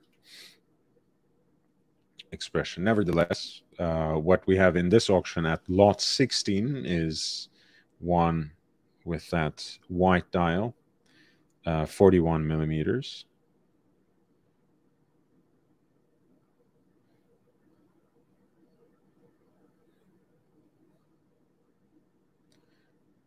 And that's the caliber 3120.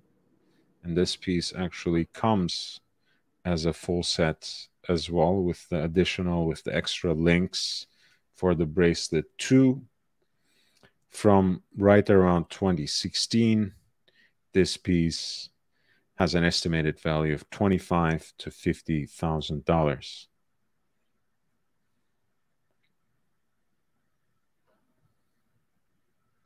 we have a couple of jumbos lined up next to each other, again in stainless steel. This was a 15202 before uh, its reintroduction in the on the 40th anniversary of the piece. You can see that on the dial because these early versions actually had uh, the AP logo at 12 o'clock rather than the traditional placing for the jumbo, which was at 6 o'clock. And then you can also tell, again, at first glance, uh, the background of the date wheel still remains white instead of the more closely color matched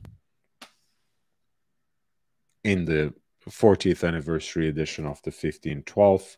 Of course, the hexagonal white gold bolts have patinated uh, beautifully and taken on this yellowish hue, which contrasts really nicely with the rest of the stainless steel watch, and especially the octagonal bezel uh, you can see how slender the profile is from here.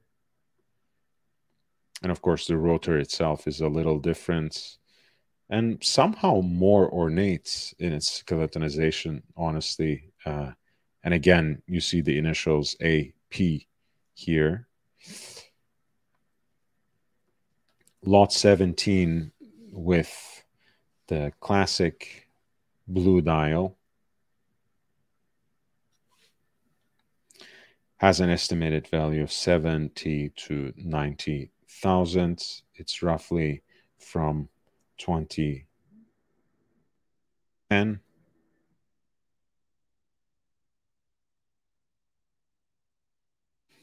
If that one had the uh, Bleu Nuit uh, Nuage 50 dial, this is one that has a white dial. Again, uh, the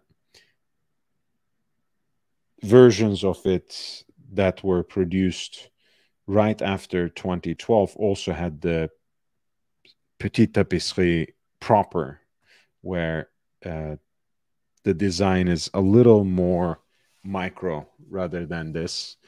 Um, I'm sure it is something you would notice right away. This is the white dial version again, right from that cutoff. A very nice aesthetic as well. Uh, clearly, slightly less desirable since its estimated value is 50 to 75,000. And of course, the jumbos um, up until 2022 ran on the caliber 2121, which was uh, Jaeger LeCoultre's workhouse caliber, a workhorse caliber 920, which they supplied to the big uh, three high horological makers.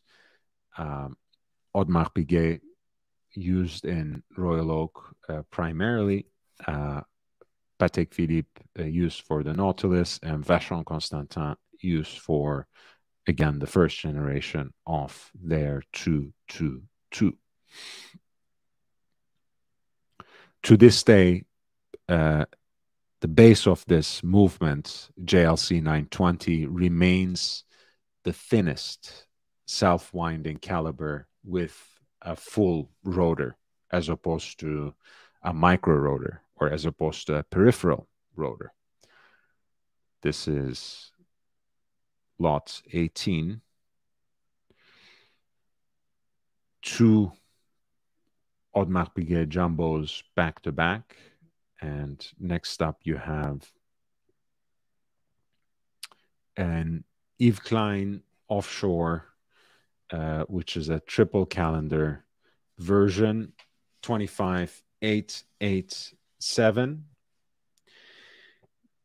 This is a piece that is made to commemorate the 1998 uh, Winter Olympics in Nagano, Japan. It's a triple calendar watch built on the uh, on Emmanuel Gueit's update on the original Gerard Genta design. But nevertheless, uh, this is again from from an age, from a time where this is still relatively humble uh, and and small compared to what followed it. Uh, 38 millimeters, still quite a unit from the um, profile, as you can see, its thickness. That should be probably like um, maybe 15 something. Let me see.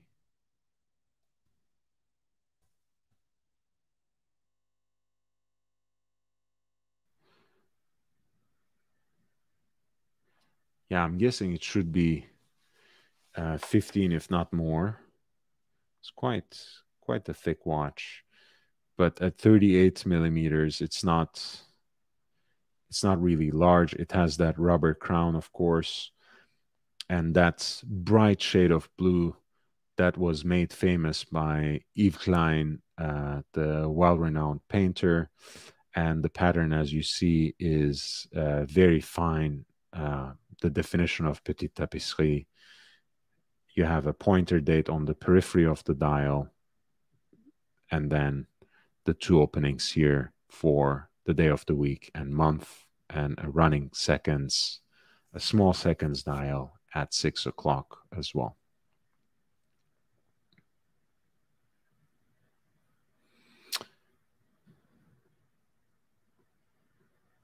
And here's the inscription limited edition of 98 pieces 25 to 35 thousand in estimated value but i'm guessing it might go for higher than that.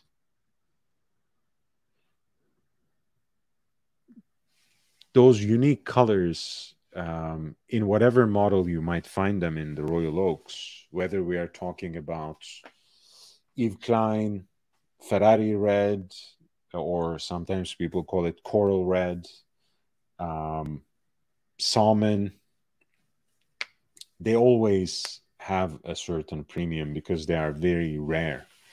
Uh, you know, it's one thing to to go after the classic blue. It's one thing to go after silver or white dials, which are of course desirable in their own rights, uh, but they are they are neither the original or nor uh, like some of these ultra rare dials that can sometimes command unreasonable premiums.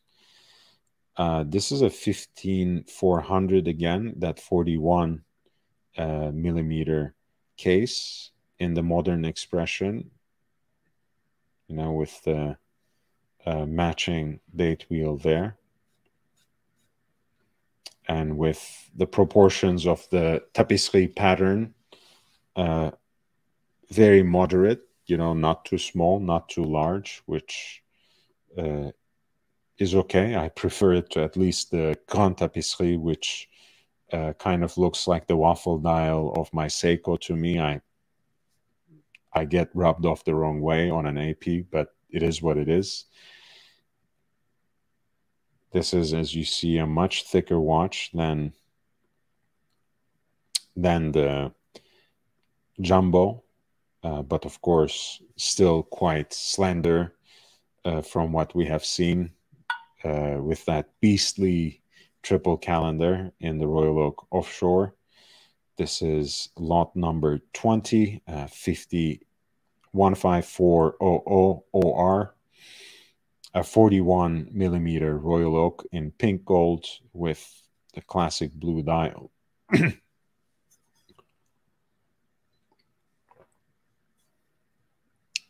Lot 20 is expected to realize a final hammer price of 75,000 to 125,000 US dollars.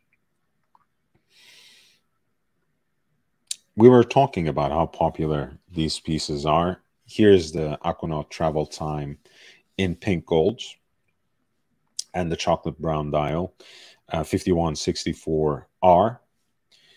Uh, I, you know, one of the things that I really like about the Aquanaut as a piece of design uh, is how it's, especially in in this latest generation, whether we are looking at the 5167 or 5164, with that rubber band sitting flush uh, on the case and between the lugs, um, and with the updated uh, design of both the globescape dial and um, and the pattern that follows it on the rubber bands, you have a feeling that they have kind of did a somewhat flippant or flamboyant take on the integrated bracelet design, which I actually appreciate quite a bit. Um, it's still not one of my favorite watches by any means, but I prefer the Aquanaut very much so to the Nautilus. Uh, in this piece, uh, there's also a sense of balance if you prefer that. I don't necessarily mind uh, the imbalance, the asymmetry, uh, which of course is always slanted towards the side where you have the crown. But in this case, uh, the crown guards and the pushers to to jump the hour basically by one hour increments uh, kind of balance each other out on each flank of the case. And the dial is uh, uh, chocolate brown, as is usually the case with uh, these sports models in pink gold.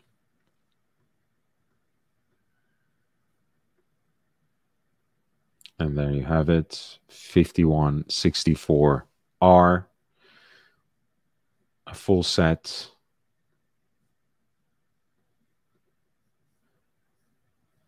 with a certificate of origin from 2016, purchased in 2016. from a dealer in Iowa City. This is lot 21 with an estimated value of 80 to 120 thousand dollars.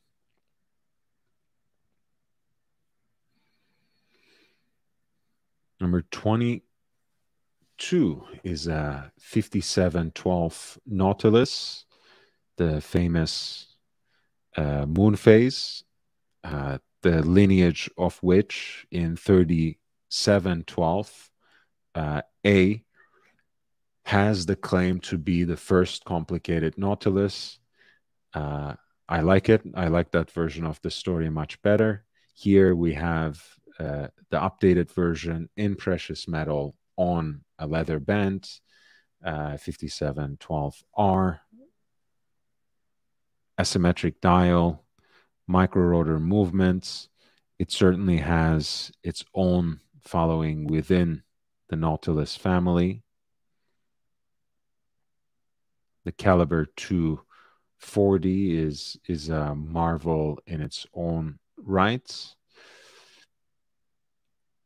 designed by uh, a team led by Gérard Perret, who uh, was also responsible for uh, Universal Genève's micro rotor calibers.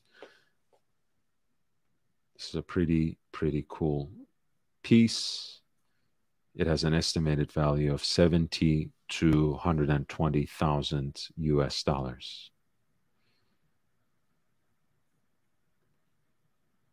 Number 23, the Platinum Daytona. The 60th anniversary is upon us.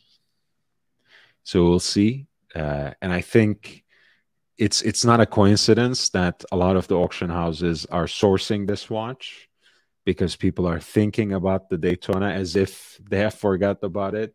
Uh, don't don't take me wrong. I think uh, Daytona is one of the hypest watches to have ever hyped. Uh, it is part of the uh, holy trinity of hype uh, between the Patek Philippe Nautilus, the Rolex Daytona, and uh, Audemars Piguet Royal Oak. You have uh, basically most of the hype uh, covered, if not all of it. Uh, but since this year, 2023, is the 60th anniversary of the model, uh, it makes a lot of sense for a lot of the vendors, a lot of the auction houses in particular, to bring back this watch. This is reference 116506 platinum with the ice blue dial that is reserved for Rolex's platinum models and the maroon outer rings on the chronograph registers, which replicates the tachometer bezel that is also in brown.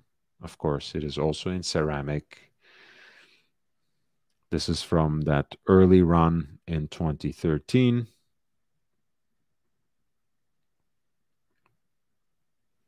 Full set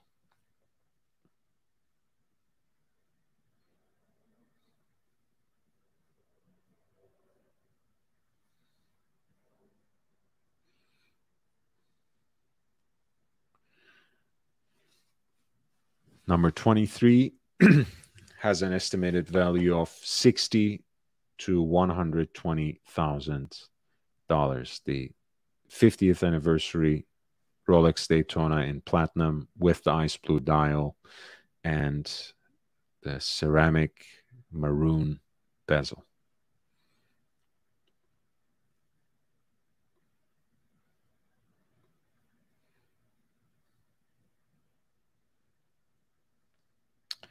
Feel free again to uh, direct my attention to any of the particular lots.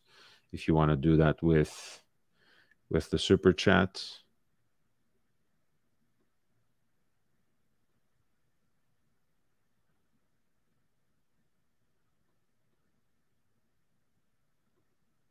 And if you have any other watch related questions, feel free to again interrupt me with a with a super chat. I will be happily getting back to you. Number 27 is the Pepsi on the Oyster bracelet, stainless steel with the matching bracelet. Of course, this is 126710. BLRO for bleu and rouge. Uh, but you will know it by the name Pepsi since the color combination refers to that. Uh, this is roughly from year 2021. Seems pretty clean, if not pristine in its condition. Of course, in either case, uh, you can always click the condition report here and get a general sense of it, in addition to the pictures, of course.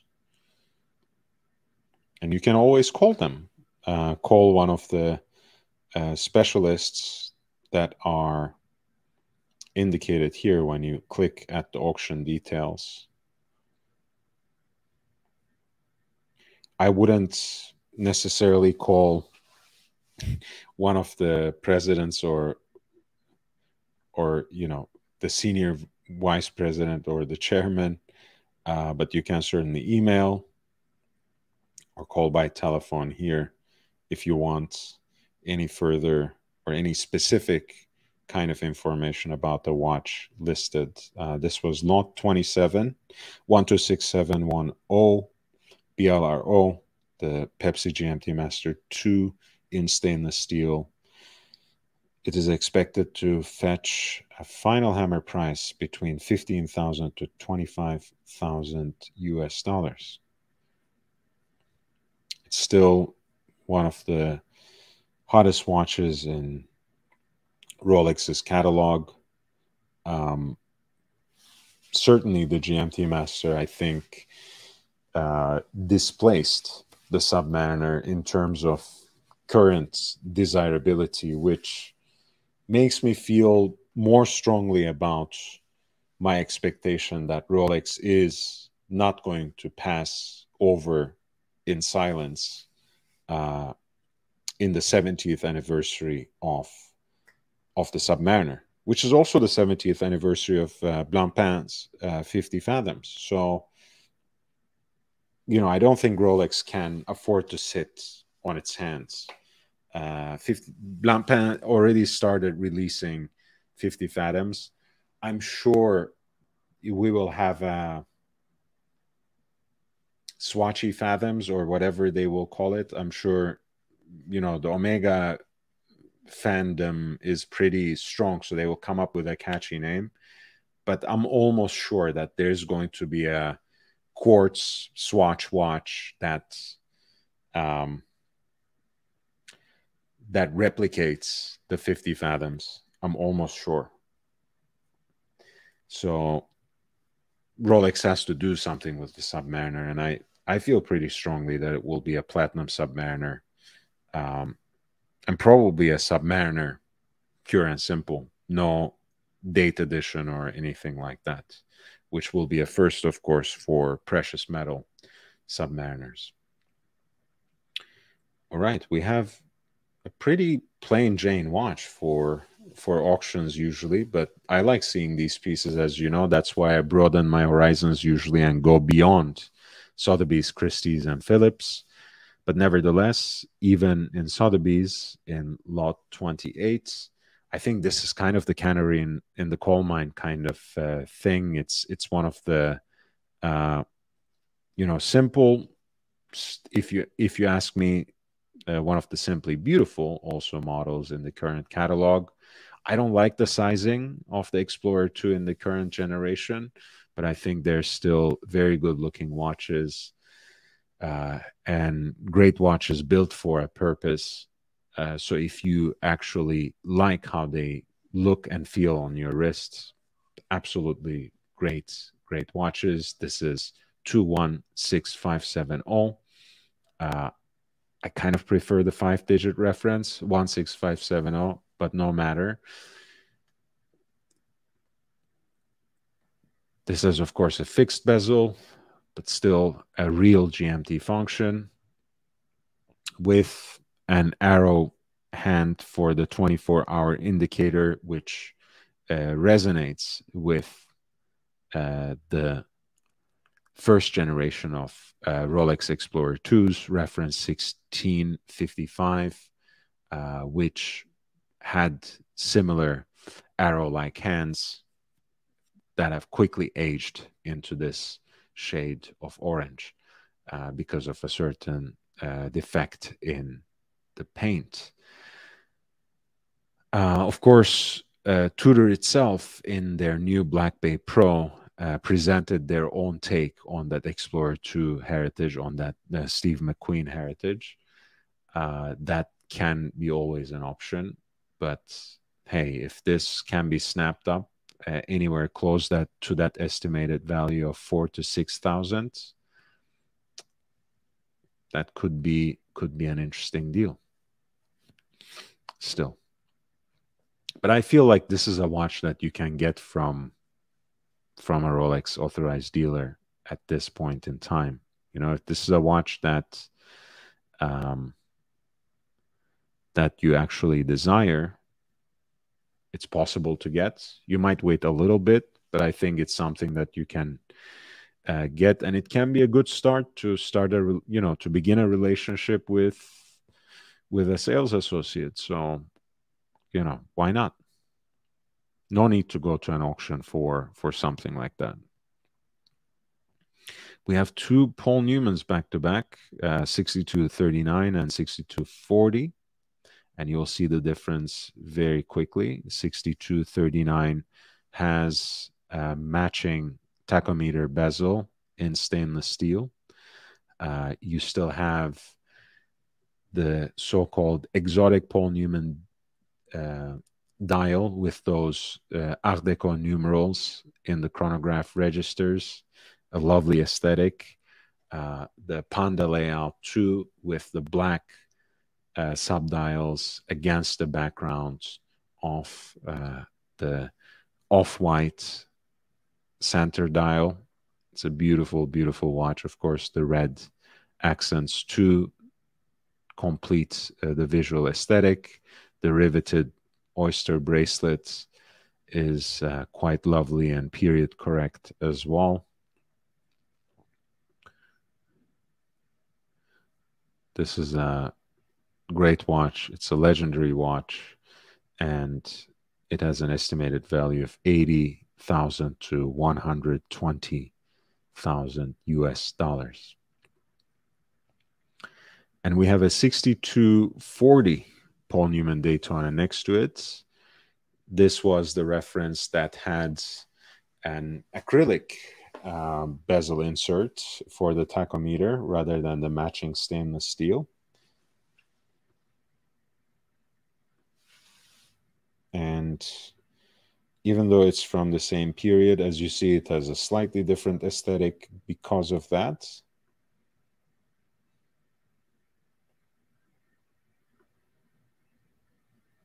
and if we were to play spot the difference you would also notice that lot 31 which is a reference 6239 has the old school pump pushers, whereas lot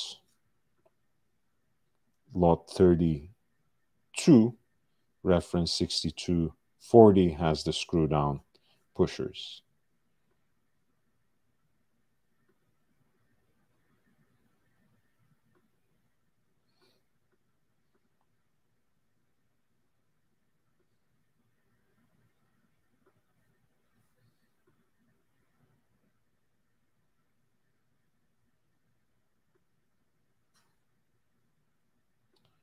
Very nice. I mean,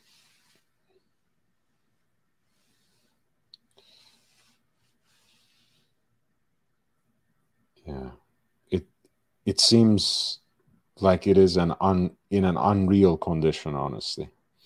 Um, which looks great, but always always makes me a little uneasy. You know, what are the chances that you will have this sort of time capsule from late 60s. You can never tell. And I kind of, nah. Yeah.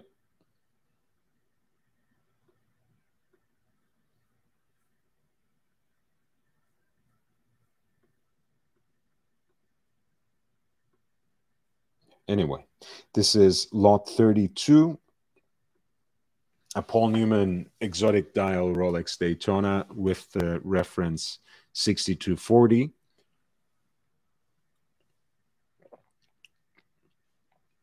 I think uh, you know you can uh, you can certainly account for for that price difference, but um, you know I think the 6240 is is one of those um, ultimate aspirations for a lot of uh, Rolex collectors. You know, the from the acrylic bezel to the exotic dial to the screw down pushers. It has a lot of a lot of things that make um, the Daytona desirable. Of course, without getting into the Paul Newman dial, this piece is expected to realize a final hammer, hammer price of 180,000 to a quarter million dollars basically.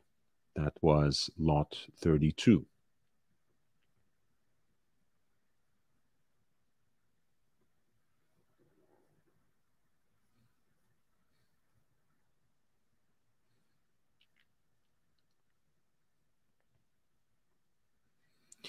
Number 33 is a, uh, Saad uh, special, a beautiful Rolex stay date uh, from that uh, first reference uh, of the double quick set, right? Where you can uh, shuffle through both the day and the dates uh, from the quick setting on the crown.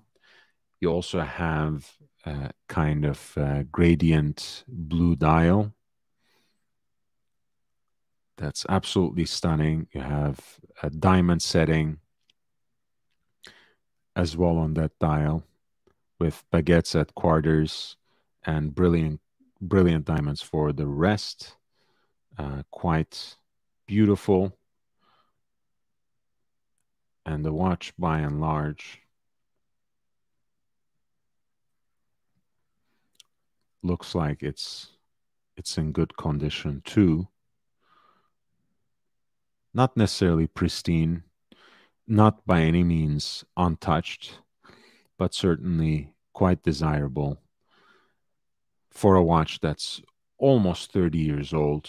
It looks quite lovely. Um, this is, of course, in yellow gold, as the last digit indicates. Lot 33 with the blue uh, gradient dial. That is diamond set. Reference 18238. Day date on the president bracelet with an estimated value of 18,000 to 24,000 US dollars.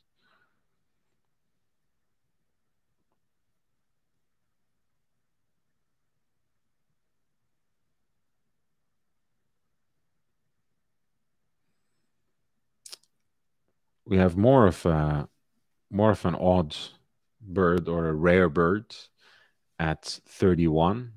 This is a 1601, a Datejust in full 18 karat yellow gold.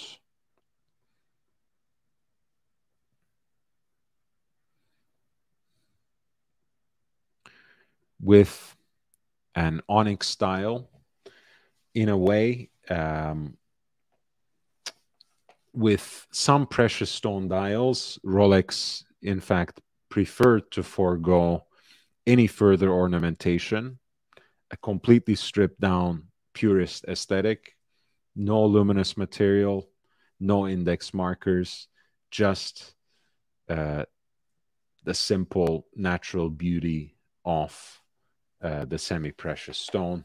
I think it fits wonderfully, and and you know, black and gold is always a winner combination. Uh, this is lot 34 uh, Datejust 1601 in 18 karat yellow gold with the onyx style roughly from the mid 70s estimated value of 30 to 40,000 due to its rarity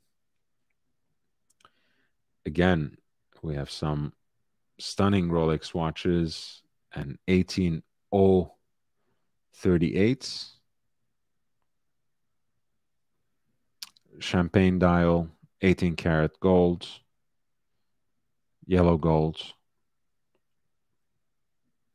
Also i mean uh, my mind is always blown when i uh, kind of uh, you know when the light bulb uh, goes off in my head uh, one of the first moments when I when I realized that the introduction of of of the 1803 reference also resonated with the fact that these were watches made from 18 karat gold. I was like, wow, that's amazing. Um, but yeah, you know, the, at least Rolex reference numbers make some sense. Um, have some lineage or connection to to previous models where you can uh, with the addition of numbers um, and with with the changing of the very last digit uh, sometimes for uh, the particular uh, metal it's you know there's a method behind the madness. Whereas with some brands reference numbers you you can simply not follow. All right, well, this is a 18038 uh, from right around the beginning of uh, the new millennium, 2001. Yellow gold champagne dial diamond set with an estimated value of nine to twelve thousand dollars. And at 36, we have a pretty similar example uh, of the double quick set.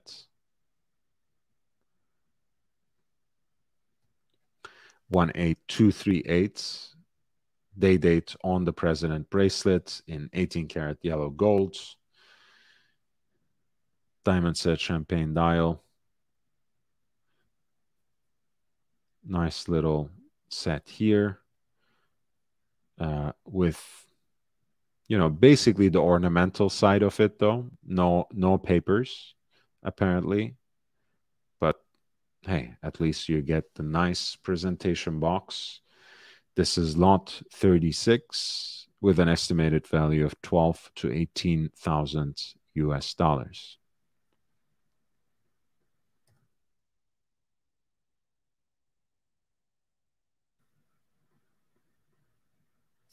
Okay.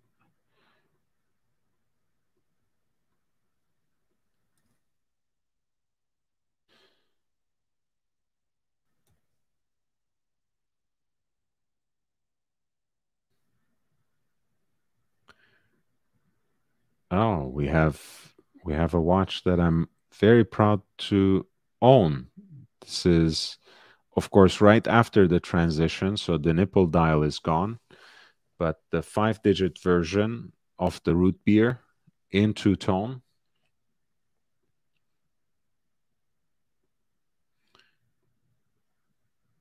You have the bicolor bezel in red and yellow have the root beer dial that has aged really beautifully, if I can be honest about it.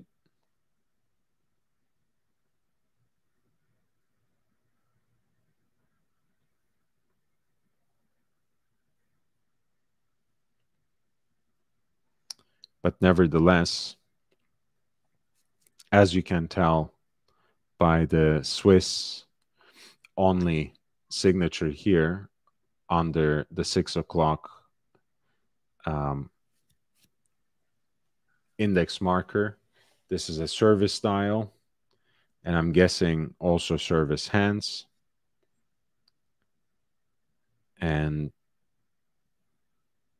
if it is um, circa 1979, as they say, That's predictable because that should have been nipple dial. I think the nipple dial gives way to uh, the broader lume plots uh, and and the matching gold surrounds around 83 84 so it makes sense that this would be service dial and service hands lot 37 um, is therefore i think priced accordingly with 8000 as the lower uh, end of the estimates up to 12,000 US dollars of estimated value.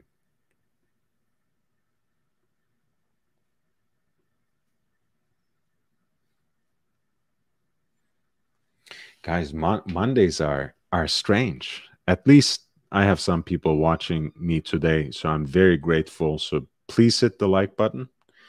Um, but yeah, I mean, you can feel free to jump on if you are not too too tired. I would appreciate some some company. But anyway, as you know, I'm always very happy to preview these auctions for you uh, and and talk a little bit. Next up, you have a four-digit piece from the 60s.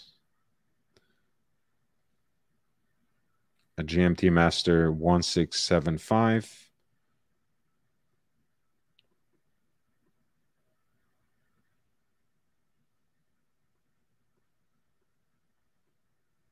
with a nice chunk of lume missing from the minute hand.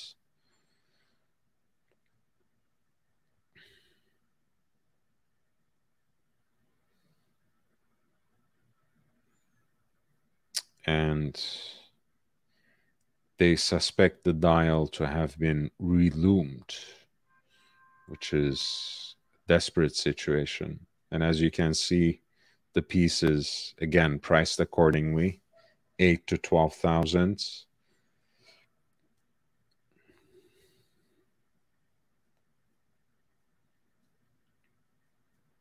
I would be really interested to see how those pieces will will trend. Ah, another watch that resembles what I have in the question collection, but it's about two decades later.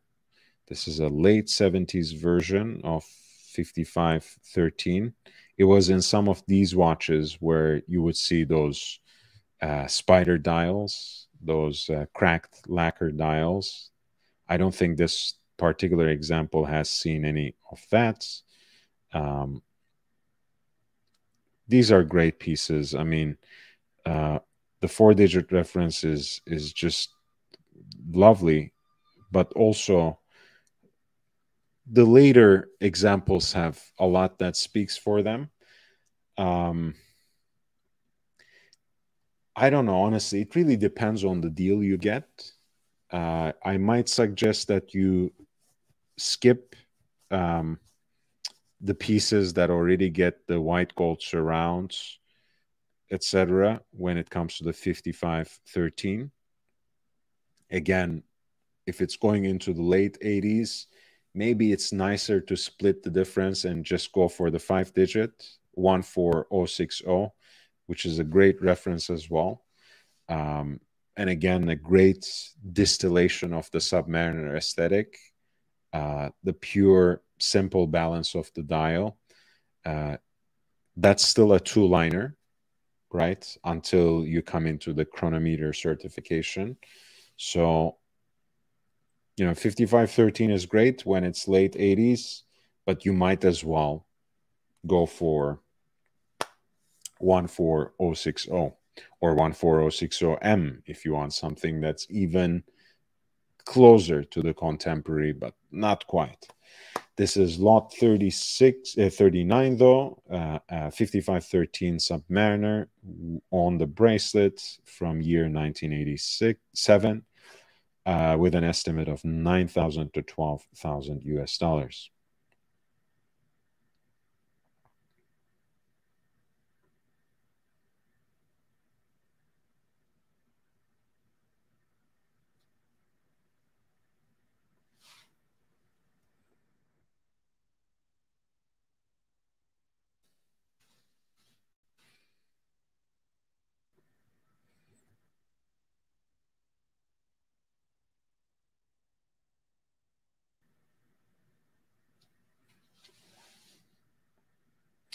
Next up, we have a small crown Submariner, 5508.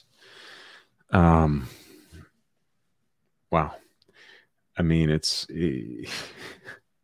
I love how they call this tropical dial. You know, I mean, I love you guys. You know, Sotheby's is great, but you know, some some watches don't. Do they really belong in auction? I guess what brings it, what makes this one particularly desirable is the fact that it still has uh, one half of the original bracelet and a lot of the original set. Um, you know, including the box, some of the papers. I think that's that's the uh, bezel as well.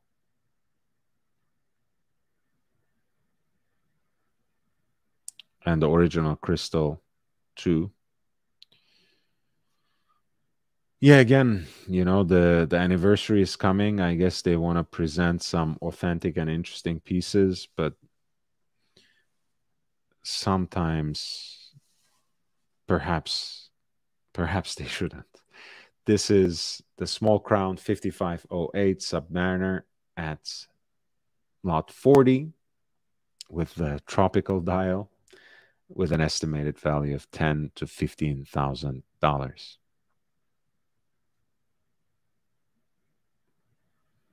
Oh, we are gonna we're gonna do that, Bruce G. I was uh, I was teasing that basically. Um, I think going to be it's going to be Saint Peter and I. Uh, we might integrate a third person. We'll see. But I started with talking about the two Cartiers that Chris Moltisanti wears in in The Sopranos. Uh, which is a, a Tank Française uh, and uh, Cartier Pasha with that diamond encrusted grill on top of it. And both pieces are in 18 karat yellow gold, of course, on matching bracelets. So, yeah, a little bit of clickbait there, Bruce G. I do apologize. Please do forgive me and still click the like button or click the dislike button. That's okay too. Any engagement is good, as you know. Um, and I'm a glutton for punishment. So go ahead. Number 41. But yes, we, we are going to do a full segment, probably like a 30 minute, 45 minutes or something, uh, talking about watches from the Sopranos, Uncle June's watch, uh, Tony Soprano's watch, uh, Meadow Soprano's watch, you know, Chris Moltisanti's watches, so on and so forth.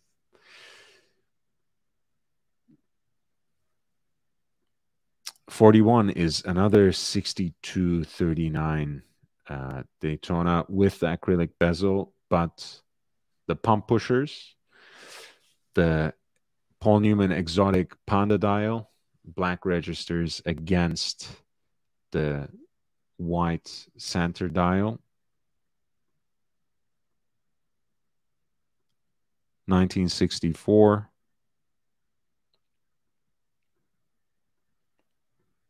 That riveted oyster bracelet.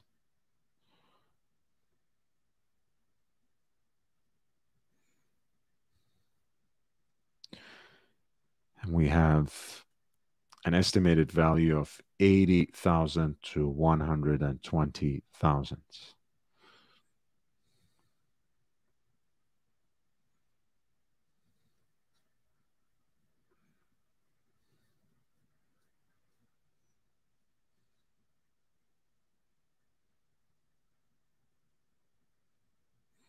We have a few interesting um, IWC pieces back to back, including a large wall clock. So let's uh, start with that. This is a wall clock from around 2000 uh, that is designed like a Portuguese, quite large, as you can see.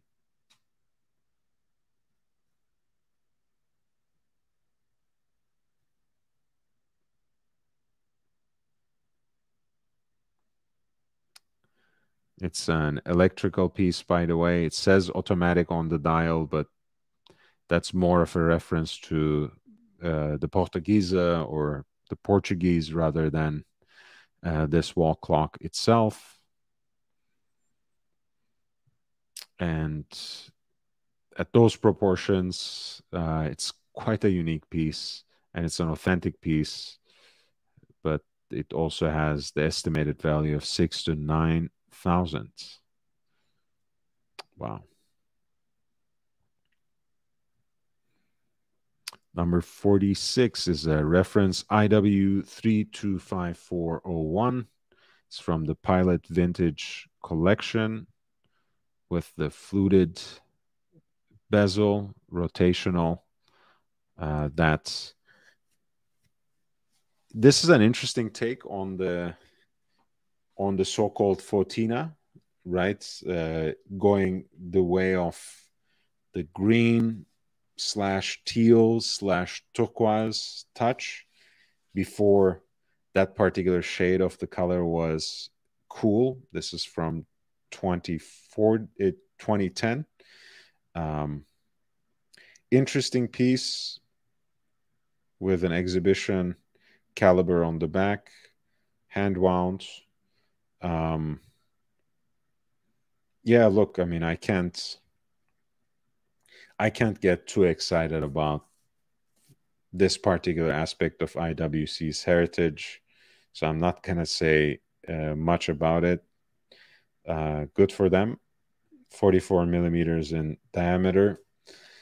Lot 46 with an estimated value of two to 4,000 for this Pilot vintage collection watch in stainless steel. we have uh, I kind of like these uh, these particular ingenieurs. This is uh, titanium. Um, they were also served on a matching bracelet too, but there are a lot of examples uh, that have this sort of leather bands. I think also there were rubber bands for them too in titanium there was the option of the full titanium bracelets. In this case, you have um, a leather strap with contrast stitching, which is a nice aesthetic for the watch. These are absolute steals on the secondary market, by the way. Uh, you can just search for them as uh, uh, Ingenieur Mercedes or engineer AMG something of that sort, and you will come up. Uh, or you can just type in engineer on any of the engine. Let's say if you are in Chrono 24, uh, and look for titanium cases, and it, you'll probably chance upon a version of this. Uh, the estimate is pretty realistic, but I'm sure you can get it right around that price, anyways, on the secondary market, and perhaps with a matching titanium bracelet as well, which is kind of cool. And this, um, again, this is quite modern, so it's it's not as big as the big engineer but it's also not uh, as traditionally proportioned as the uh, original Gerald Genta design that was the jumbo. So but still an interesting watch and the fact that it's a titanium piece and otherwise a pretty stripped down piece that um, can easily remind you of the dashboard of of a nice car which was the vibe they're going for and makes it a very cool watch uh, very underrated uh, Ingenieur a Mercedes AMG edition with an estimated value of two to four thousand dollars. This is a titanium self-winding piece with an engraved case back that uh, commemorates, that registers that collaboration.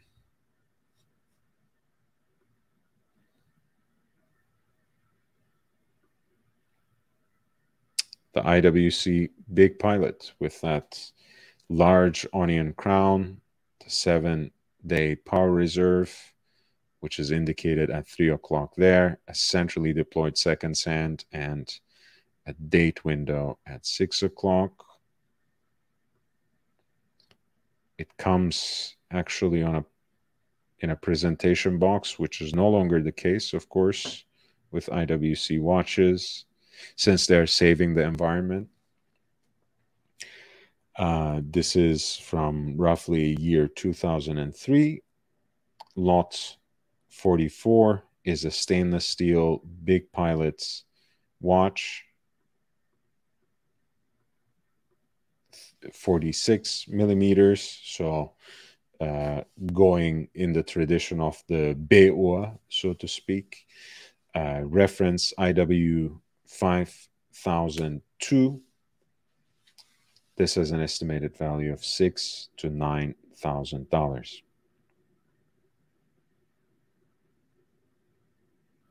Hey, thank you, Gondog. I have I have about another hour to go. So if you if you want to squeeze in a question or two, preferably with a with a super chat, uh, which if you happen to be the last one of the day, will get you into the raffle as well. So, by all means, but nice to have you in the audience in either case.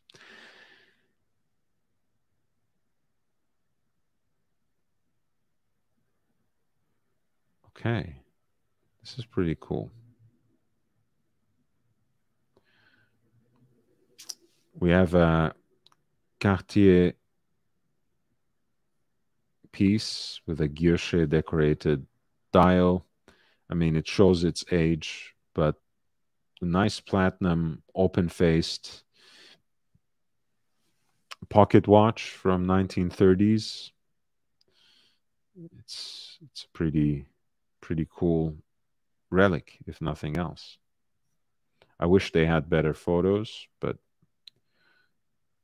anyway, this is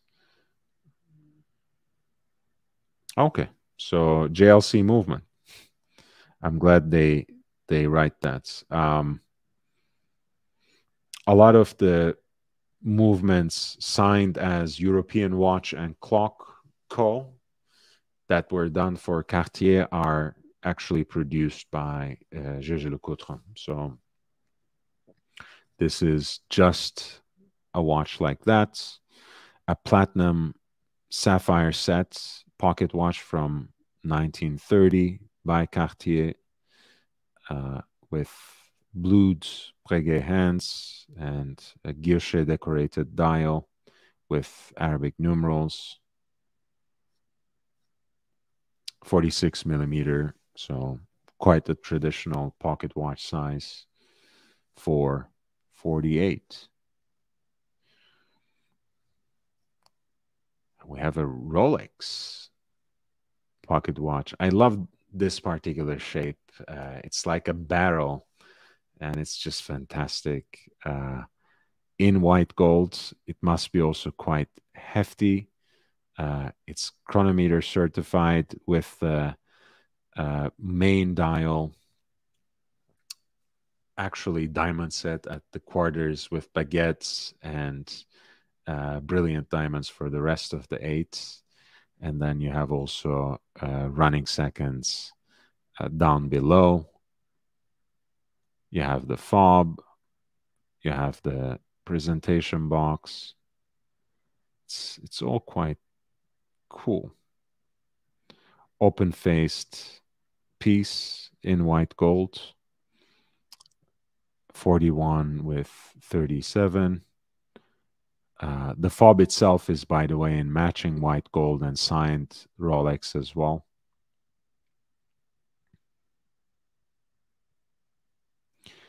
I mean, I should say chain uh, because fob literally refers to what is attached to the chain. So, excuse my casual phrasing there. But yes, so white gold watch with matching chain with a clip attached to the end of it as well. Post war white gold Rolex pocket watch.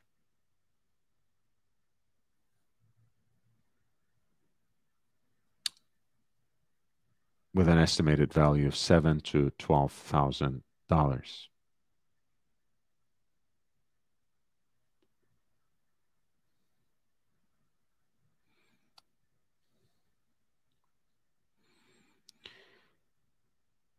At lot 59, we have a very nice Piaget perpetual calendar from late 80s.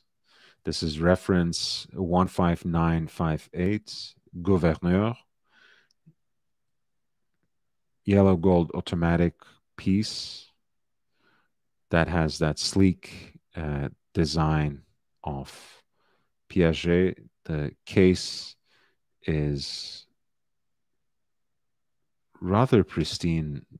The piece almost looks unworn. And I kind of love this notion of a, you know, silvered white dial with gray subdials. The moon phase has that beautiful sky blue in the background. It's a very balanced and traditional design for for a perpetual calendar. Um,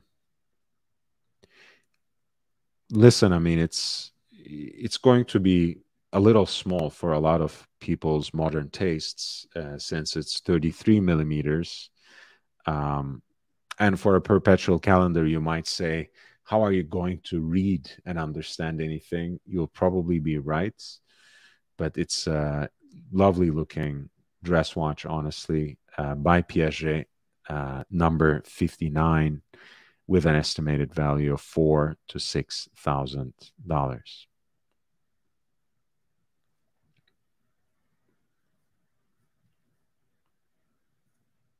Oh, sorry, I passed everything a little too quickly there. We have two nice Calatravas reference 96.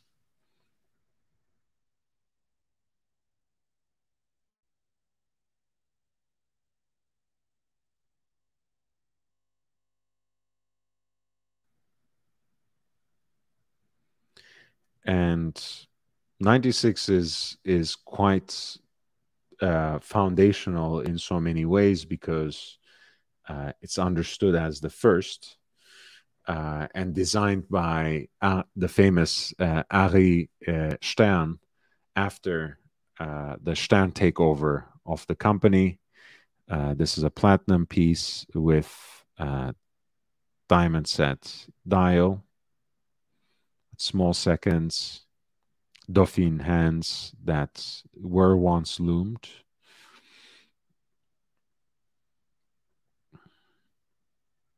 Of course, once again, you're talking about a watch that's positively minuscule in 31 millimeter, but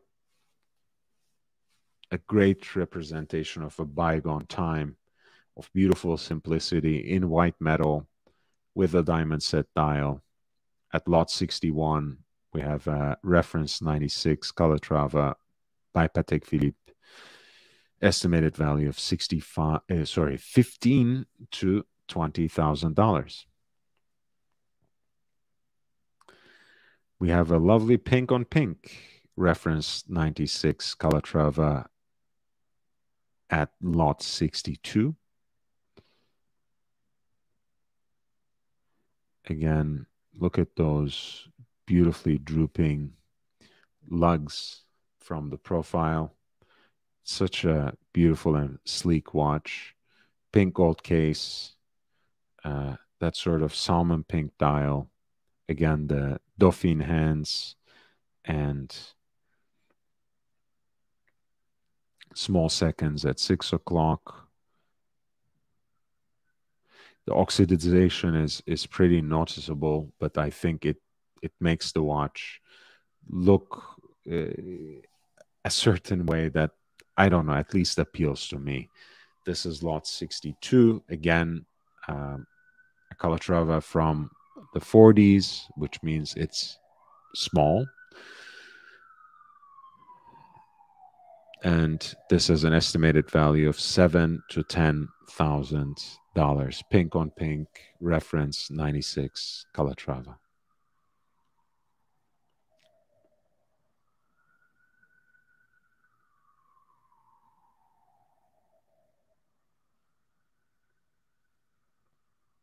Number 66 is again a genre of, of a Patek Philippe watch that's gaining in recognizability, if not necessarily uh, in prominence. Uh, this is a round piece with an integrated bracelet um,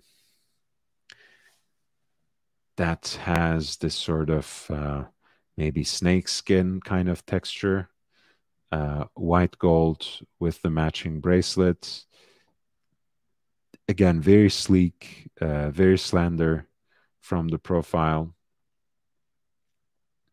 A very 60s piece with that uh, particular shade of ink blue dial, white Roman numerals, maybe like silver even. You know, maybe not perfectly white but they certainly go well with the white gold case and bracelets. It's a lovely piece, again at 33 millimeters. It may or may not be up your alley, uh, but I think the integrated bracelet is is a cool look. Um, the problem with these pieces are usually with the size of the bracelet. In this case, uh, the circumference is supposedly 195 millimeters, which is not bad. Um, but there's also a certain kind of a YOLO effect, right? You know, that because these are arranged by cutting. Um, and once you cut them, it's not a very straightforward process to really expand them and make them larger. It's not impossible, uh, but it's certainly not preferable. So that's why for quite some time the collectors were not really hot on these pieces, but increasingly they're becoming a little more desirable. So we'll see where where it exactly goes, but anyway. This is a fascinating diamond set piece. I mean, I don't even know how many carats of diamonds you see here. White gold, uh, Traditionnelle, 81760 slash 000G dash 9862. This is a incredible work of gem setting by Vacheron Constantin. Absolutely untouched, as you can see, uh, from when it was bought at the princely sum of 321,000 in pounds sterling. So the person who gets it in the auction probably is um, getting quite a sweet deal. No box, no papers, however.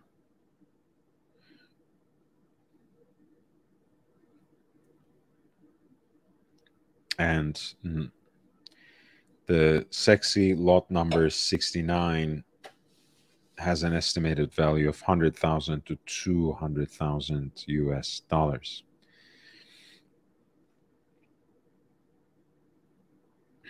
We have a few very cool Cartiers back to back.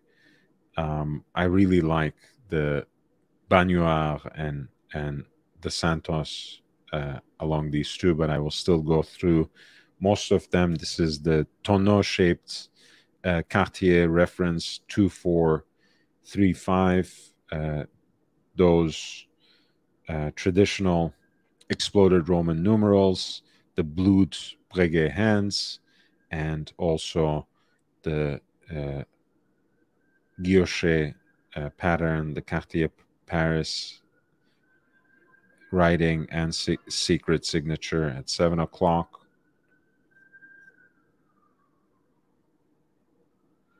It's in platinum and has that perfect curvature. Sapphire cabochon.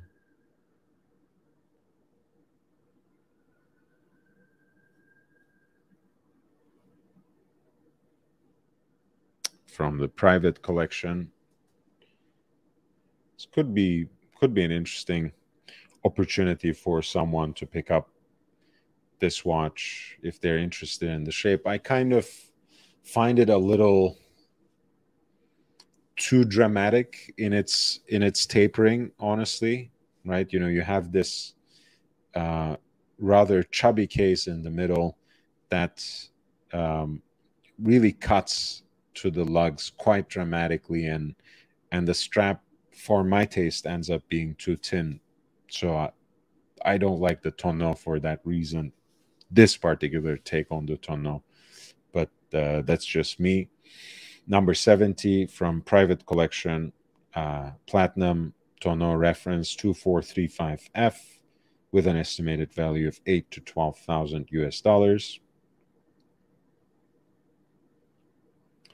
And next up we have uh, Baignoire Allongé, uh, which is literally what it's what it says. Uh, it's it's uh, Cartier's bathtub looking watch that is stretched out. Um, you can see it has a very interesting lug structure as well. This one is in pink gold, again with those uh, stretched out Roman numerals, uh, the guilloche decoration of the dial, heat blued hands combined with the sapphire cabochon express that uh, elegant Cartier aesthetic from year 2005. This pink gold Baignoire Allongé is uh, priced at ten to fifteen thousand dollars. And uh, Cartier Santos uh, from 1985, roughly speaking. Roman numerals, and inside them, a perfectly square railroad track in yellow gold from Cartier Paris. It's 25 by 39, and the dial is not in the perfect condition, honestly. So the estimated value of the watch reflects that a little bit. I'm still not sure if I would go for something like that, even if uh, the model is otherwise desirable for you.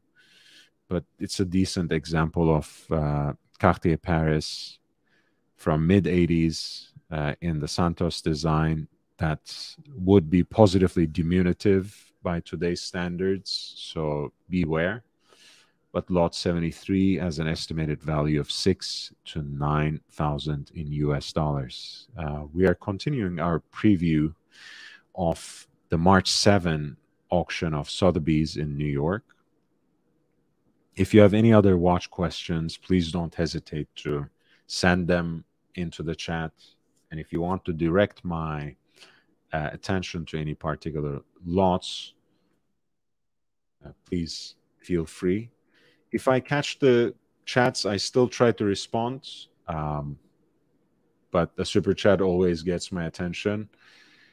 At the end of the day, also, we have that further incentive that you can read in the ticker. Um, the first and last super chats of every live stream in the month of February gets entered to the giveaway, to the raffle of which the prize is uh, Seiko 5 Roaring Blazers watch with the lime green dial. We have a beautiful rectangular, um, extra thin white gold Vacheron Constantin piece in this reference 6791. Again, I think it's a gorgeous piece. Um, I'm sure it can be. Look, I mean, it's uh, at the right price, these kinds of pieces are actually quite elegant. And and knowing Vacheron Constantin, I almost know that um, they would service something like this and probably can you know can help you preserve that dial and uh, make a new dial to it i'm sure.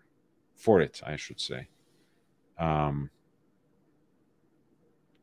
but yeah it, it would be a project in a way. I mean you have seen how how the dial looks uh, from oxidization certainly but possibly also uh, some humidity ingress and possibly even water damage. But what a beautiful looking watch otherwise. Um, this is 2275 by 32 again a very small and dainty watch. Uh, very thin watch as well but in many ways that makes it a perfect dress watch. This is number 75 three to five thousand us dollars in estimated value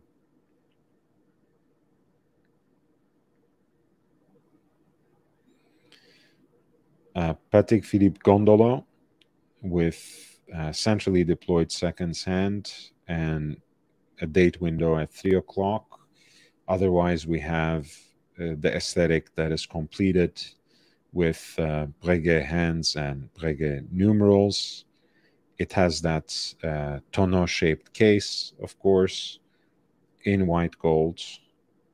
Again, a very sleek and beautiful dress watch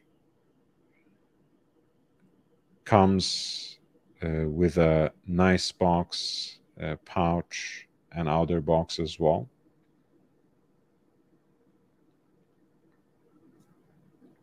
It's not that old, by the way. It does have have a very you know vintage like aesthetic but i think you can already tell by the font of the um by the font of of that date that just looks jarring on the style. But anyway, um, this is 2008 Patek Philippe Gondolo 5030G.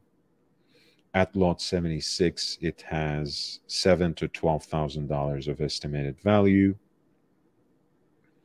We have a traditional Calatrava here with the hobnail bezel, enamel dial with Roman numerals. Uh, it is also marked there Email, right? Small seconds, heat blued hands. In pink gold, this is a 51 15 r Relatively well preserved. A hand wound piece with again with the hobnail bezel enamel dial. And in rose gold in 35 millimeters six to eight thousand us dollars of estimated value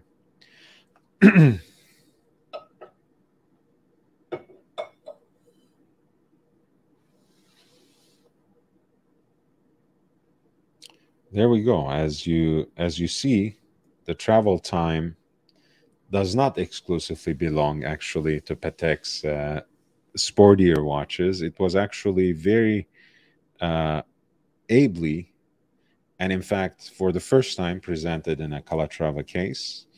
Uh, this is, of course, a much later uh, edition. Uh, the first reference of the Patek Philippe uh, travel time. Calatrava was uh, 2597. Of course, this is a much later reference, 5134R with the Breguet numerals and the extra hour hand, and a 24 hour indicator at 12 o'clock, a running seconds, uh, a small seconds dial at six o'clock as well.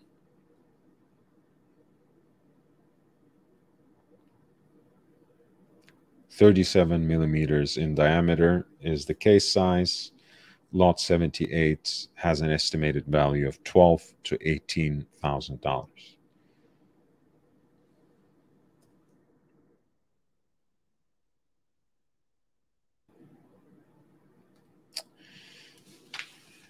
Wow. We have uh, we have the original star wheel in a way uh, in the Millenary case. This is the 25898 in rose gold for the 125th anniversary around the turn of the millennium. You can uh, see the wandering hours complication thanks to those transparent uh, discs and also uh, the stars that give uh, Audemars Piguet's wristwatch iteration of the movement in which uh, they were a pioneer, its name. A very wonderfully balanced and nicely designed watch, if you ask me. Uh, these used to be much cheaper, by the way. I don't know how the new release uh, of the Star Wheel complication uh, in the Code 1159 line will affect it. It will probably pull those prices up. Um, but this estimated value seems out of all proportion. Nevertheless, I'm sure some who have tried getting the Code 1159 Star Wheel with to no avail uh, will probably look into opportunities like this. So, Lot 79, which is a limited edition Millenary Star Wheel in pink gold, reference 25898 has an estimated value here uh, in the Sotheby's New York auction of March 7, 40 to 60,000 US dollars.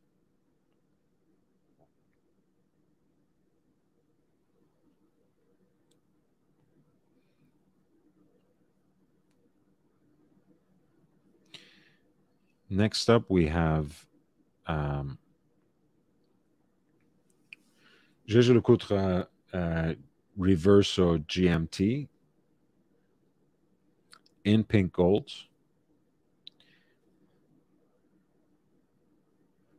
And this is the Grand GMT, so it has the uh, day night uh, at two o'clock on the main dial, which which is silvered and guilloche decorated, and you also have uh, the uh, flip side, which has the power reserve indicator on a black dial uh, that has a little bit of a more sporty uh, aesthetic, so to speak, with the uh, broad sword hands uh, with lume and also a 24 hour day and night indicator as well as as the gmt indicator as well. The two pushers, of course, uh, operate those options.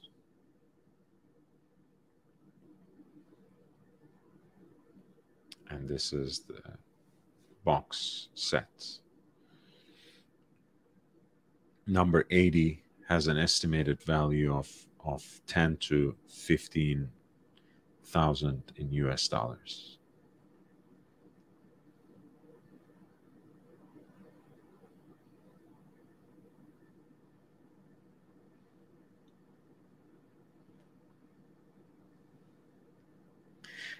And at lot 81, you have the Reverso day and night in stainless steel. This time, you simply have a pusher or a really a corrector there, which you have to manipulate with the pin. But in either case, you have the classic Reverso dial And on the flip side, you have again black dial that's still guilloche decorated, but has a little more of a sporty aesthetic with the night and day 24 hour indicator at six o'clock.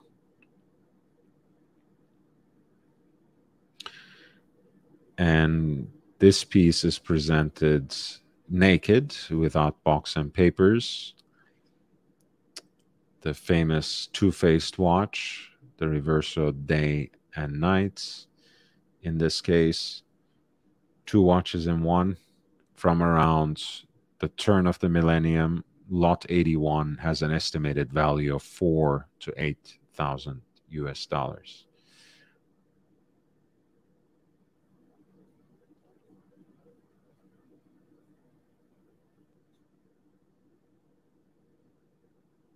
87 is a Ming 1706 copper with that salmon dial in stainless steel.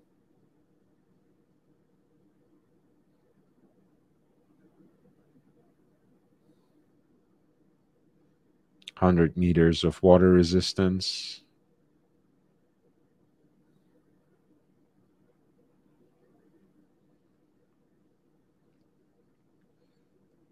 This is a piece at 38 millimeters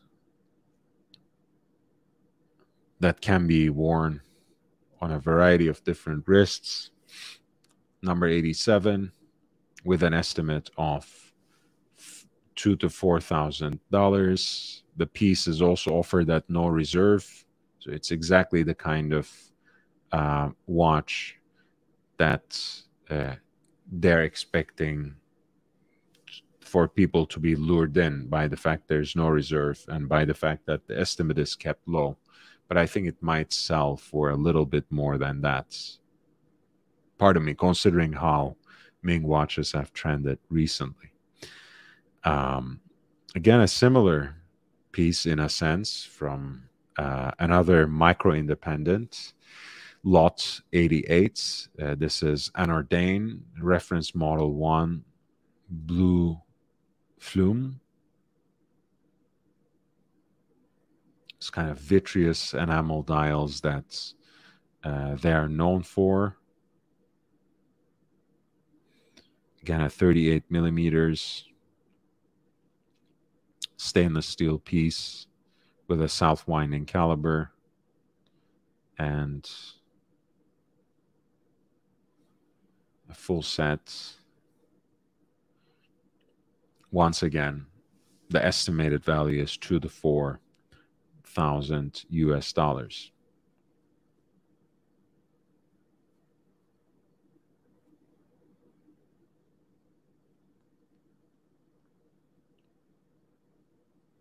We have two interesting takes on the Royal Oak back to back. Um,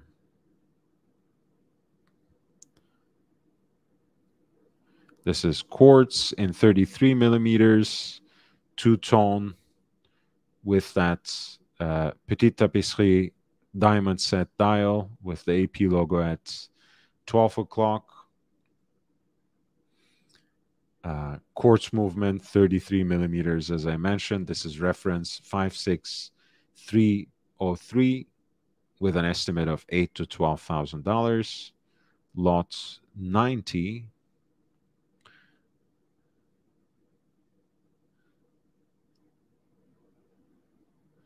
is another quartz piece. Uh, this is again 33 millimeters, reference 56175, in what was at the time quite a unique execution of the two tone by AP, where uh, the case and uh, the bracelet was in tantalum, but the crown octagonal bezel as well as the tapering interlinks were in pink gold. Um, and I think uh, with that uh, grain brushed dial, uh, there was a great uh, cohesion to the aesthetics of the watch that were as I said, quite unique in the time. This is mid 80s, right? You know, well before F.P. Journe's chronometre bleu. Uh, this 33 millimeter Royal Oak with a quartz movement has an estimated value of nine to 12,000 US dollars at lot number 90.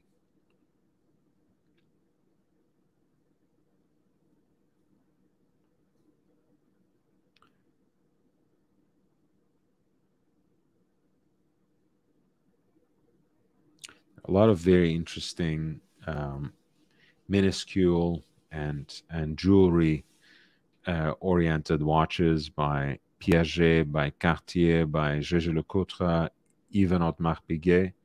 I'm gonna, unless there are any special requests, I'm gonna pass uh, over in silence over many, many of them. Um,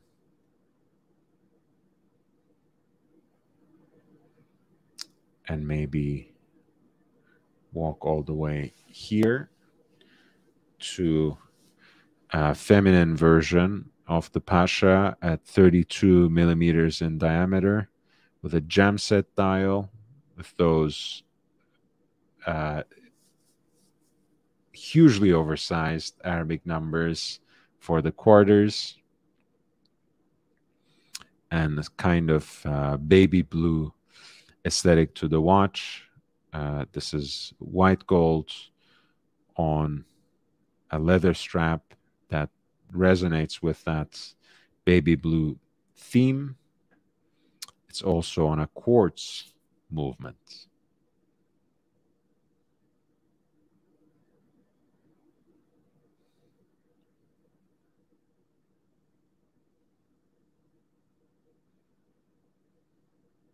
We have an older version of the Breguet Marine um, in I think 26 millimeters. It's a very uh, it's a ladies version, beautiful guilloche work, uh, hands, and a centrally deployed seconds hand, exquisitely heat blued, and a six uh, and uh, date window at six o'clock as well. This is a nice piece, nice self winding piece in yellow gold with matching uh, clasp there, but it's pretty, uh, pretty small.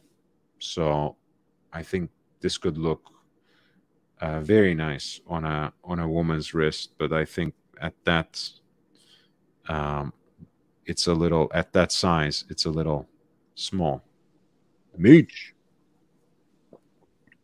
I heard you're talking about um, lady size uh, watches, and I had to uh, I had to uh, join the panel. yeah, being the designated size queen of the community, you you, you, you gotta have your say.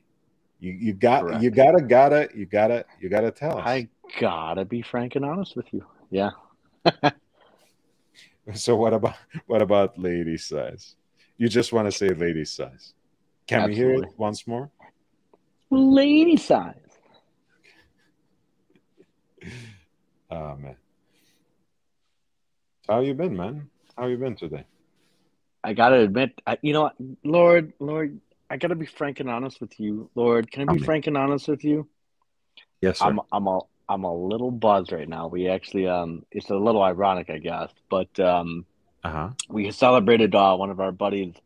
He's uh, he's a month sober now, actually. Um, and uh, you know that's why he I celebrated his his one month of sobriety by drinking. Please explain. Yeah, that's that's what kind of makes it funny. Um, but hey, good on him. Actually, good on him. He's uh, he's a good kid. Good kid.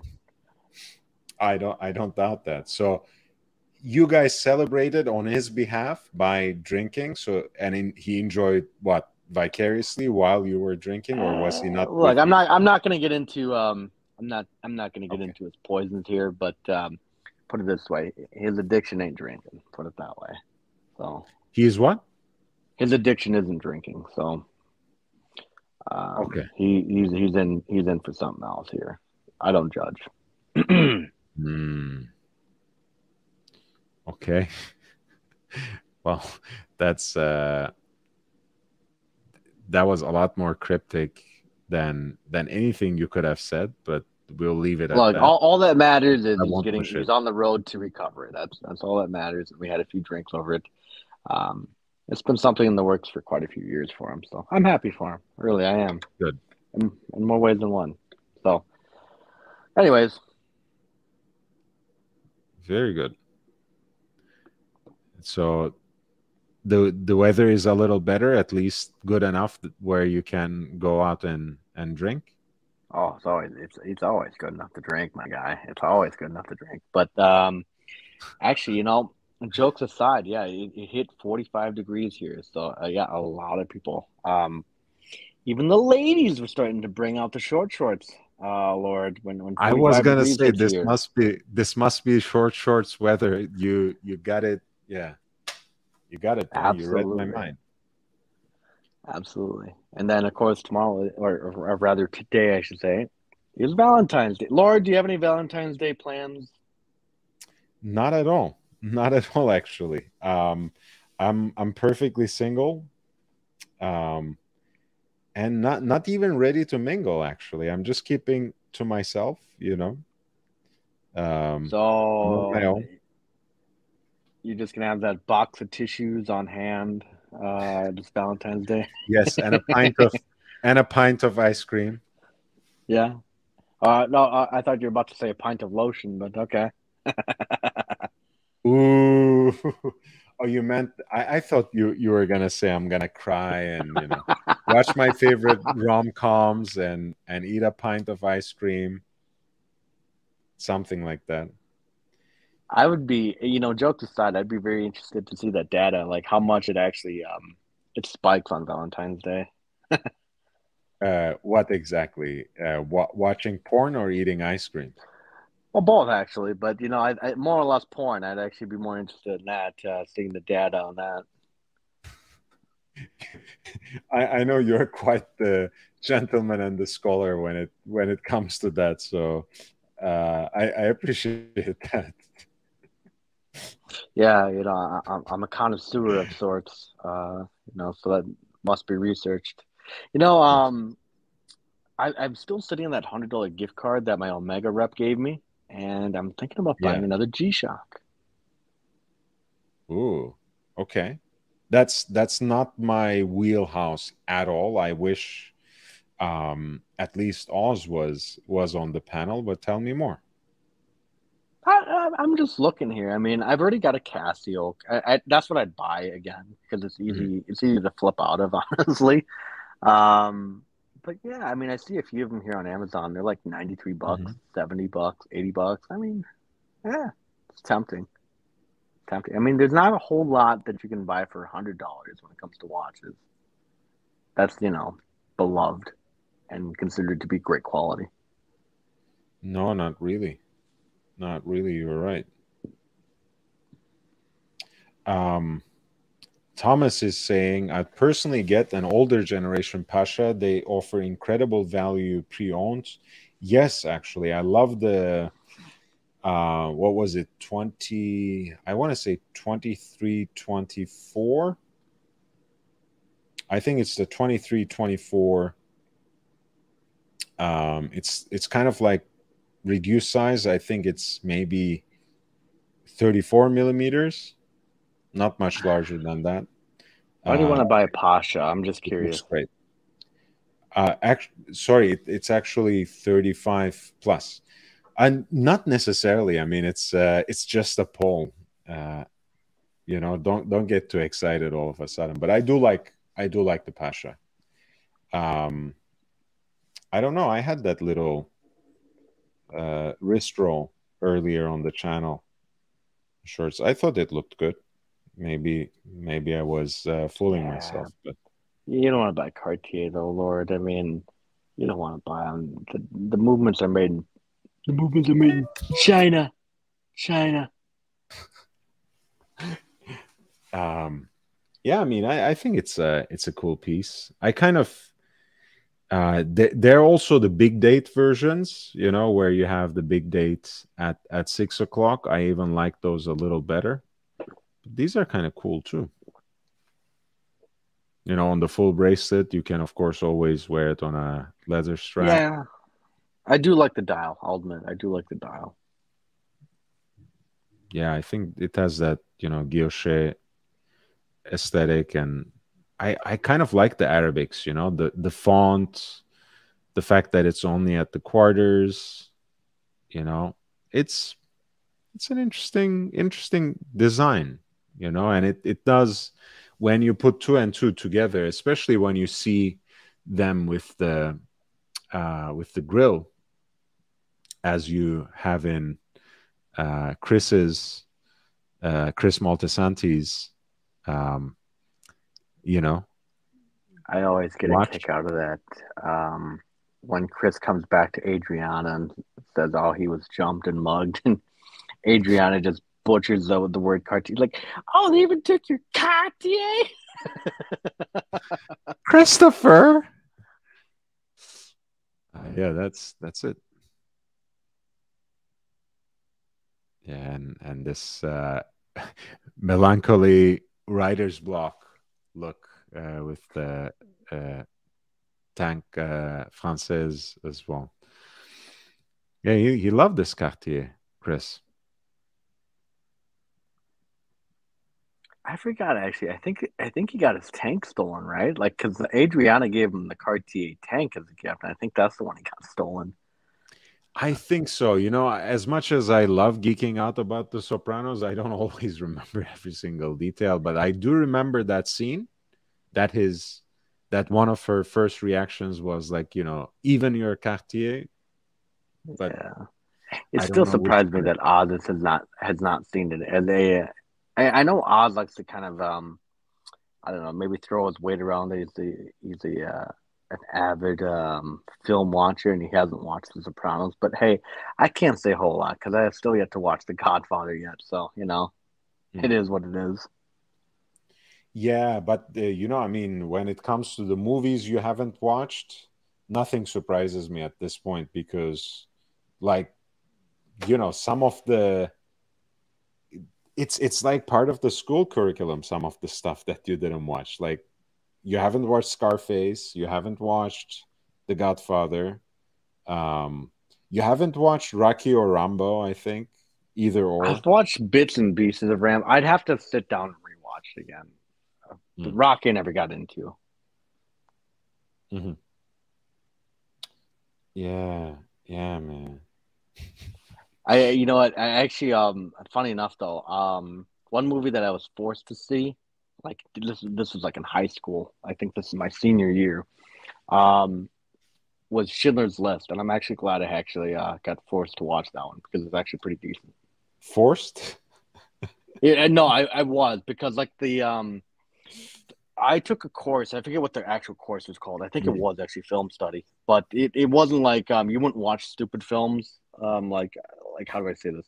Like you wouldn't watch like a show like Dumb and Dumber. Like you would actually have to watch a legitimate film and you'd have to write an essay on it of like what you've learned instead um, of uh, instead of a cult classic like Dumb and Dumber. You want to say? I mean, well, qu- quite frankly, yeah, I, I, between you and the fence post, I think those are historical documents. But um, you know, uh, honestly, you know, that's that's why I think the sequels have hurt me a little. Like when it comes to coming to America and and Dumb and Dumb and Dumber, because the first ones were just so good that they should have left it alone. I think that's uh, the case with a lot of movies. You can argue that case with a lot of movies, honestly. Uh, for sure, but for them to come back to it decades later, that's what yeah. I mean.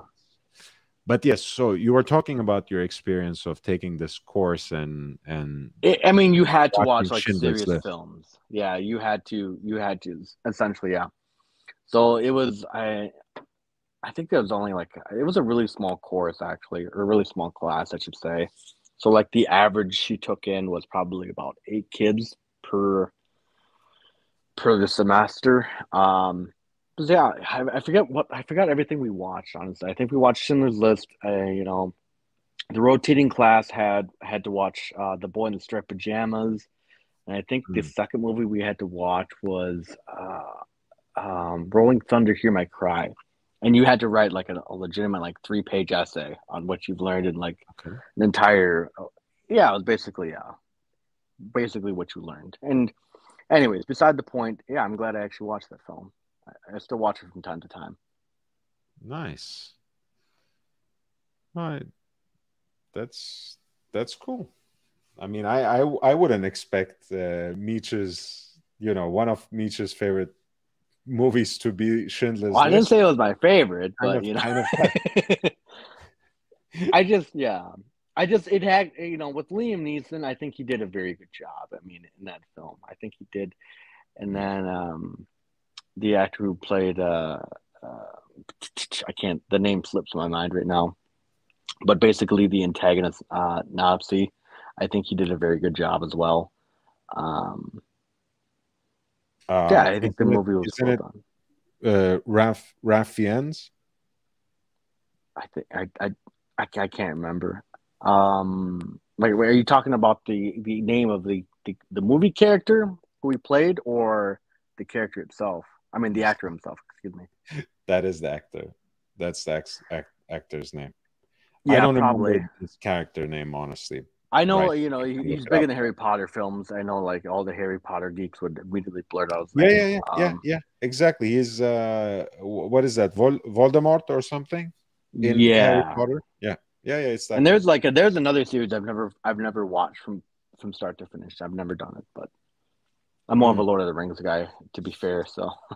oh, me too, by far, by far. I mean, when it comes to the books, especially. Um, the movies you know i i like them but i don't feel so strongly about them that i feel you know i need to protect it against uh you know uh the the lesser movie harry potter or something I, harry harry potter movies are fine the books were I, yeah. the books were i mean i it, it made me it made me want to cut myself honestly. I mean they were they were not well written at all but you know it's kind of a shame that an entire generation has as their cultural sphere you know harry potter and game of thrones and nothing else. So that's that's kind of disappointing but i've heard the jurassic park books are supposed to be pretty fucking um pretty heavy actually. I've heard they're supposed to be pretty vile um and like the actual jurassic park movies really had to dial shit back down because they're mm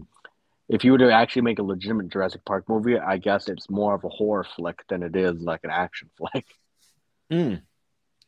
Yeah, I mean, you might say that. Honestly, I've, I haven't, I haven't actually.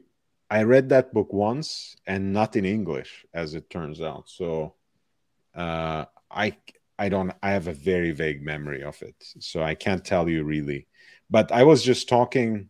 Um, wait who was i talking to about about american ah st peter i was talking to him about american psycho and uh, how the movie has uh, a few different things compared to the book uh, which by the way is much more vile as well if you can imagine have you right. watched american psycho as well I've watched. I, I had to. Uh, so basically, our college professor uh, made oh us watch God. it. Watch okay. it because you, you he was hungover and I've watched half of it.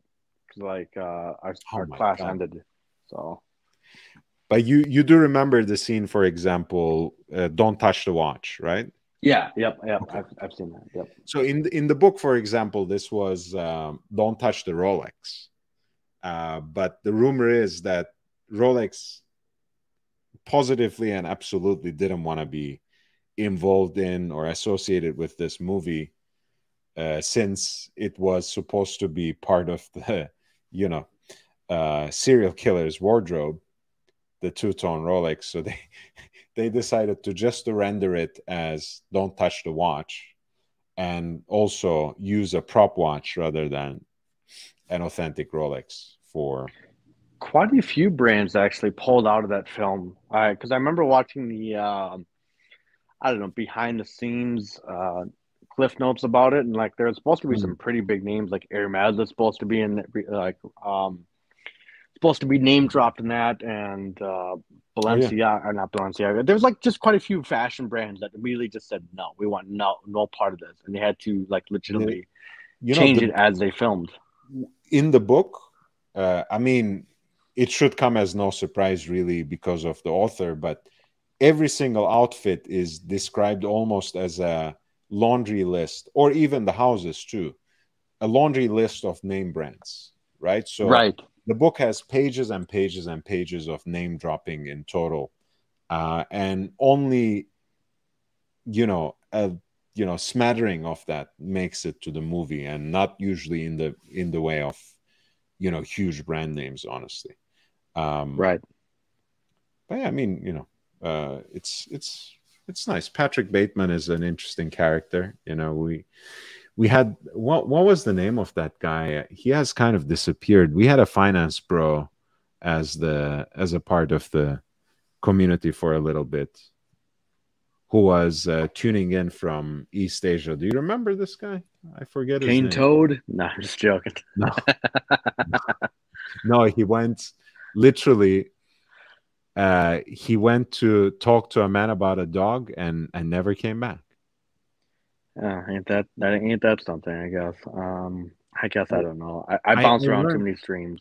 I, I learned that's an expression that Australians use. You know that when when you want to just uh, make a quick exit from from somewhere without oh. having to explain. You know, I've I gotta go and talk to a man about a dog, and kind of like the Patrick Bateman line. You know, I I gotta return some re- videotapes. Oh yeah, I've got I've got a lunch meeting with Cliff Huxtable at the Four Seasons. uh, yeah. Yeah, so Mike David is saying, What have I walked on? I, I wish I knew, Mike David. I, I'm not even sure how the timing was and what we we were talking about, but it's always great fun with with Meech. So I would never um, sacrifice that spontaneity and conversation. What are you wearing today, Meech? Uh, I, I actually pulled the uh, the Milgauss from the safe actually. Um, so I needed to get that out because uh, my my uh, one of my reps asked me, "It's like, oh, you still have the Milgauss?" I'm like, "Yeah, I've just got in the bank safe." So I don't know if they're uh, attempting to call my bluff or what, but um, I figured I'd I'd pull it out. So, do you think they were trying to check in on you? I feel like they are. I mean, I'm I'm pretty sure it's all in a jest. Um, I think they know that I don't I don't flip Rolexes. They know I flip watches, but they know I don't flip Rolexes. So it is what it is. By the way, guys, it's the last 10 minutes, more or less. As you know, the first and last super chat of the day gets entered into the raffle for the giveaway. Uh, the prize is a Seiko 5 Rowing Blazers watch with the lime green dial that I have actually, as it happens, right here. Um, let me take it out in the meantime. So if you squeeze in one last super chat, whether you're sh just showing your support or asking a specific question, um, you'll get entered. The numbers are posted and constantly updated on the community page. So you can always check the situation there. And there we go. This is what we have. Uh, Hard. It's like I'm looking. it's like I'm looking in the mirror.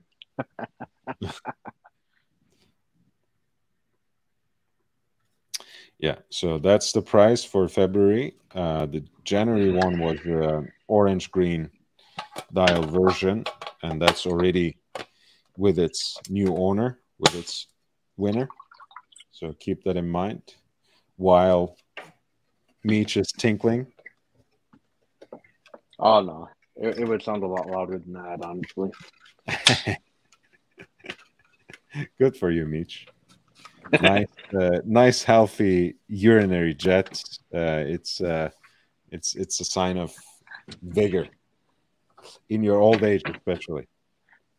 Correct. You know, no kidney stones here, not yet, anyways.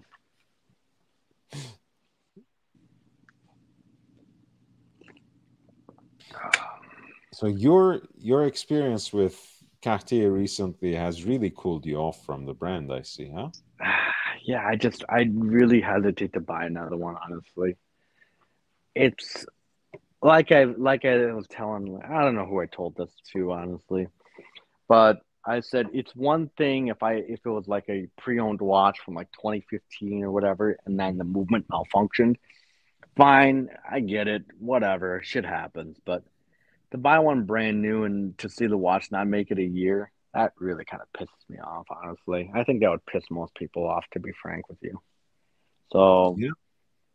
I like the design, and yes, I do. I do kind of toy with the idea of buying Cartier again, but at the same time, I always remember the watch never made it a year. So what the fuck's the point? Yeah, that is a little despairing, honestly. Um, beyond their particular approach to service and servicing the movements in particular, I think the fact that it failed you so quickly, it's it something's off. I think what to add the uh, to add insult to injury, I guess. I think what what definitely makes the the nail in the coffin for Cartier is I primarily wore that watch for dress, like an official dress watch, much like the JLC.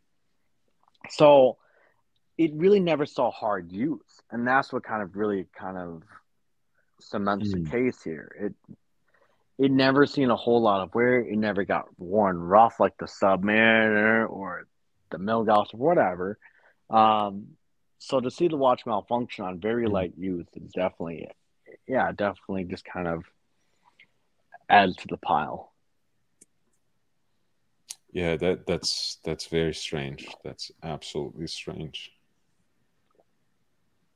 Yeah, for for everything that that can go into recommending uh, the new generation of the Santos, which is, you know, it's it's a cool design. It's uh, it has that easy exchange strap system, which makes it very practical.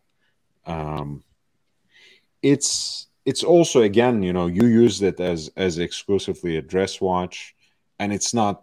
Look, I mean, it's not a sports watch in the way we understand it, but uh, it also has that sporty vibe, so it can actually be worn in you know kind of di- diverse occasions, and certainly not right. only when you're suited and booted. So it's um, that that is disappointing that it would not survive in your experience the first year of rather light wear.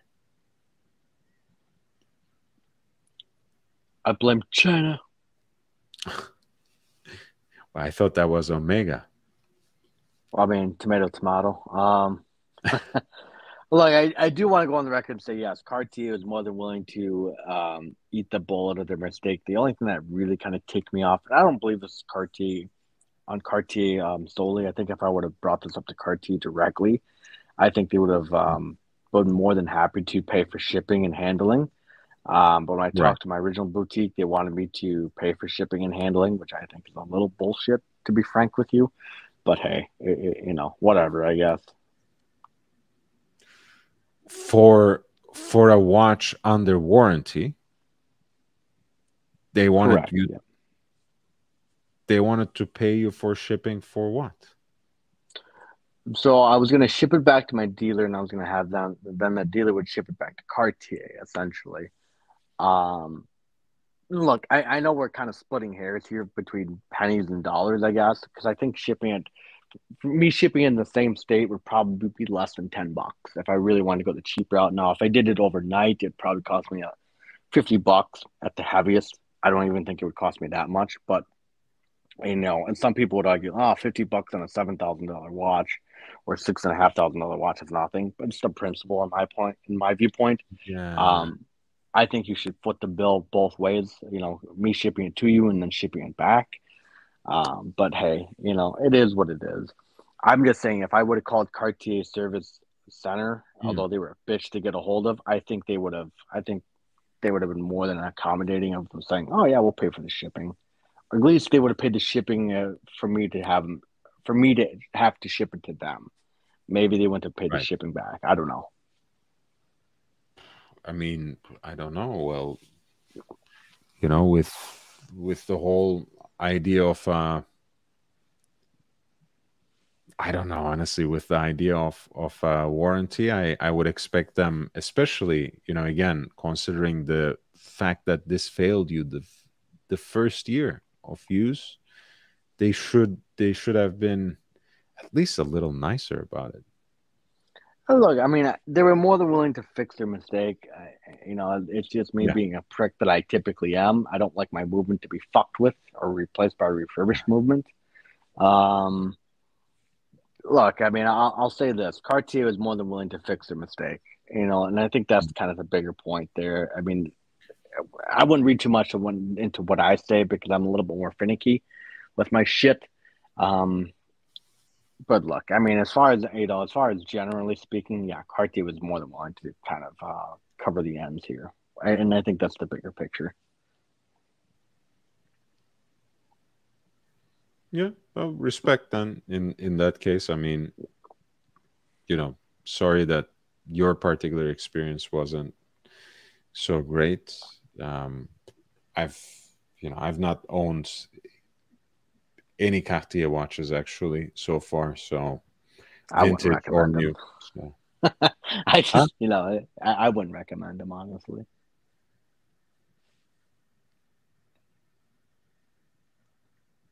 Funny yeah, enough, though, I did get a phone call and they told me I, I, I so mm. I was on the wait list for a solid rose gold Cartier medium Santos, and I just got a phone call like a month or so ago asking me if I was still interested. And I said, nah, not really anymore.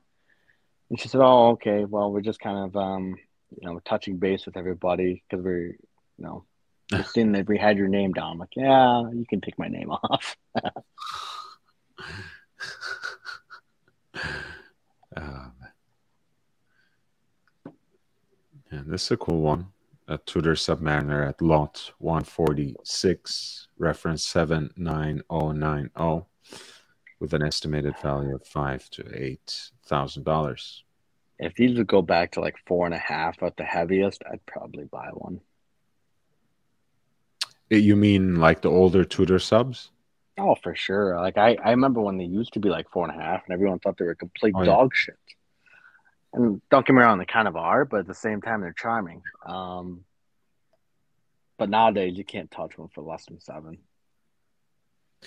Yeah, I mean, they again, you know, they used to be even cheaper, but like you said, you know, you have to decide whether you want them or not, and then decide what your budget is, and then be ready to snipe when the right deal comes along. You know, so that seems, you know, reasonable way to look at it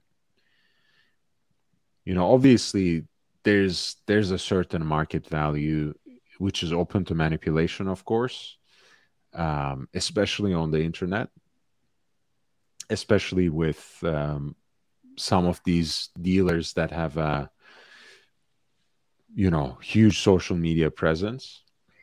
But you know there's also the value that can differ from the market value that the watch has for you you know that can be horological, that can be sentimental, that can be any manner of things. And uh, that value can be slightly higher even than the market value. It can be significantly lower.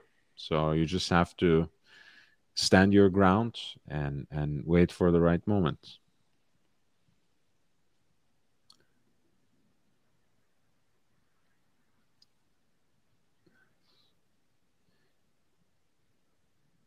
All right, guys, this is really the last minute.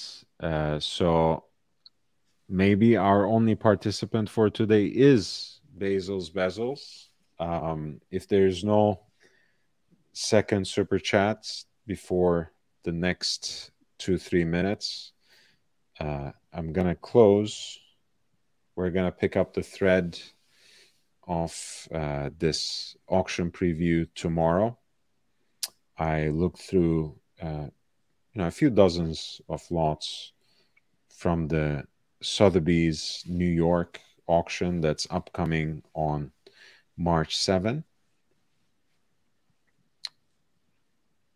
And before that, we talked a little bit about new releases by Seiko uh, and Norqain, as well as uh, Louis Vuitton. So you can always roll back to tape to to talk about that. Of course, we well, I mean, I have uh, started with uh, looking at those two Cartier watches that um, belong to Michael Imperioli as Chris Moltisanti, Bruce G. Thank you. I mean the Tank Française and and the Pasha. I'm gonna end the. Um, Bruce is laughing. The super sticker for ninety nine. Well, you waited. You waited until the last moment to snipe. That's what a G. What a G. Smart. That's smart. Um, yeah, I was saying that um, I'm going to end the poll now. Uh, people have said, should I get a Cartier Pasha? 42% said yes, 27 said no, 31 said get something else. And not many people specified something else, but I guess Bruce G meant that he likes other stuff by uh, Cartier, for example, Santos or perhaps the tank. Um, Cartier is a girl's watch. You don't want that, Lord. Come on now. What? Which the one? Cartier is a girl's watch. I said you don't want that garbage.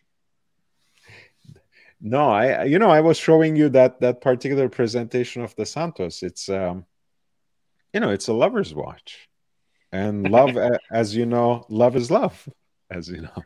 So I just, uh, you know what? Uh, for reference, Lord, you can you can look back on my Instagram photo that I sent you uh, earlier today.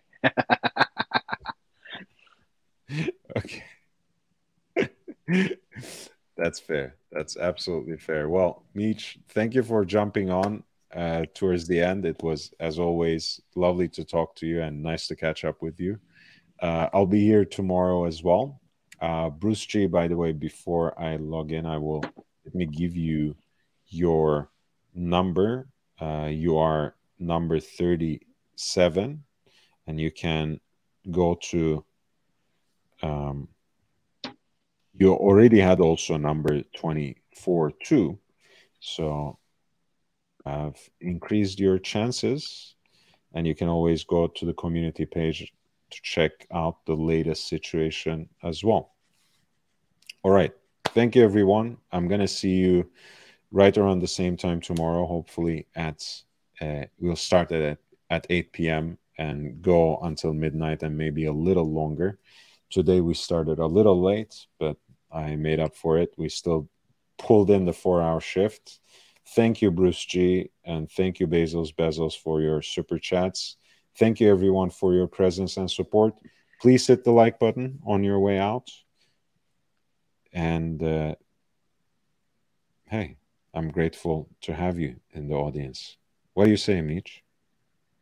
Um, gentlemen, it is Valentine's Day, so therefore, uh, it's a public announcement here. Gentlemen, don't be silly. Wrap your willy unless you want thousands of dollars in child support. All right. Uh, so play it safe, gentlemen. Play it safe. Um, I mean, it's uh, it's it's a nice month. Huh? It's th- this is the month that makes people like us, as you know, roughly speaking. I suppose when you look at it that way, but you know, nobody needs the extra tax dollars nowadays, if you know what I mean. yeah, but I mean, you know, we, we would love to have uh, have another Scorpio in the in the house as always. But I mean, wise words as always from from Big Papa Meech. Thank you, everyone we're logging off for today. We'll be here with you tomorrow. Until then, I bid you adieu. Take care.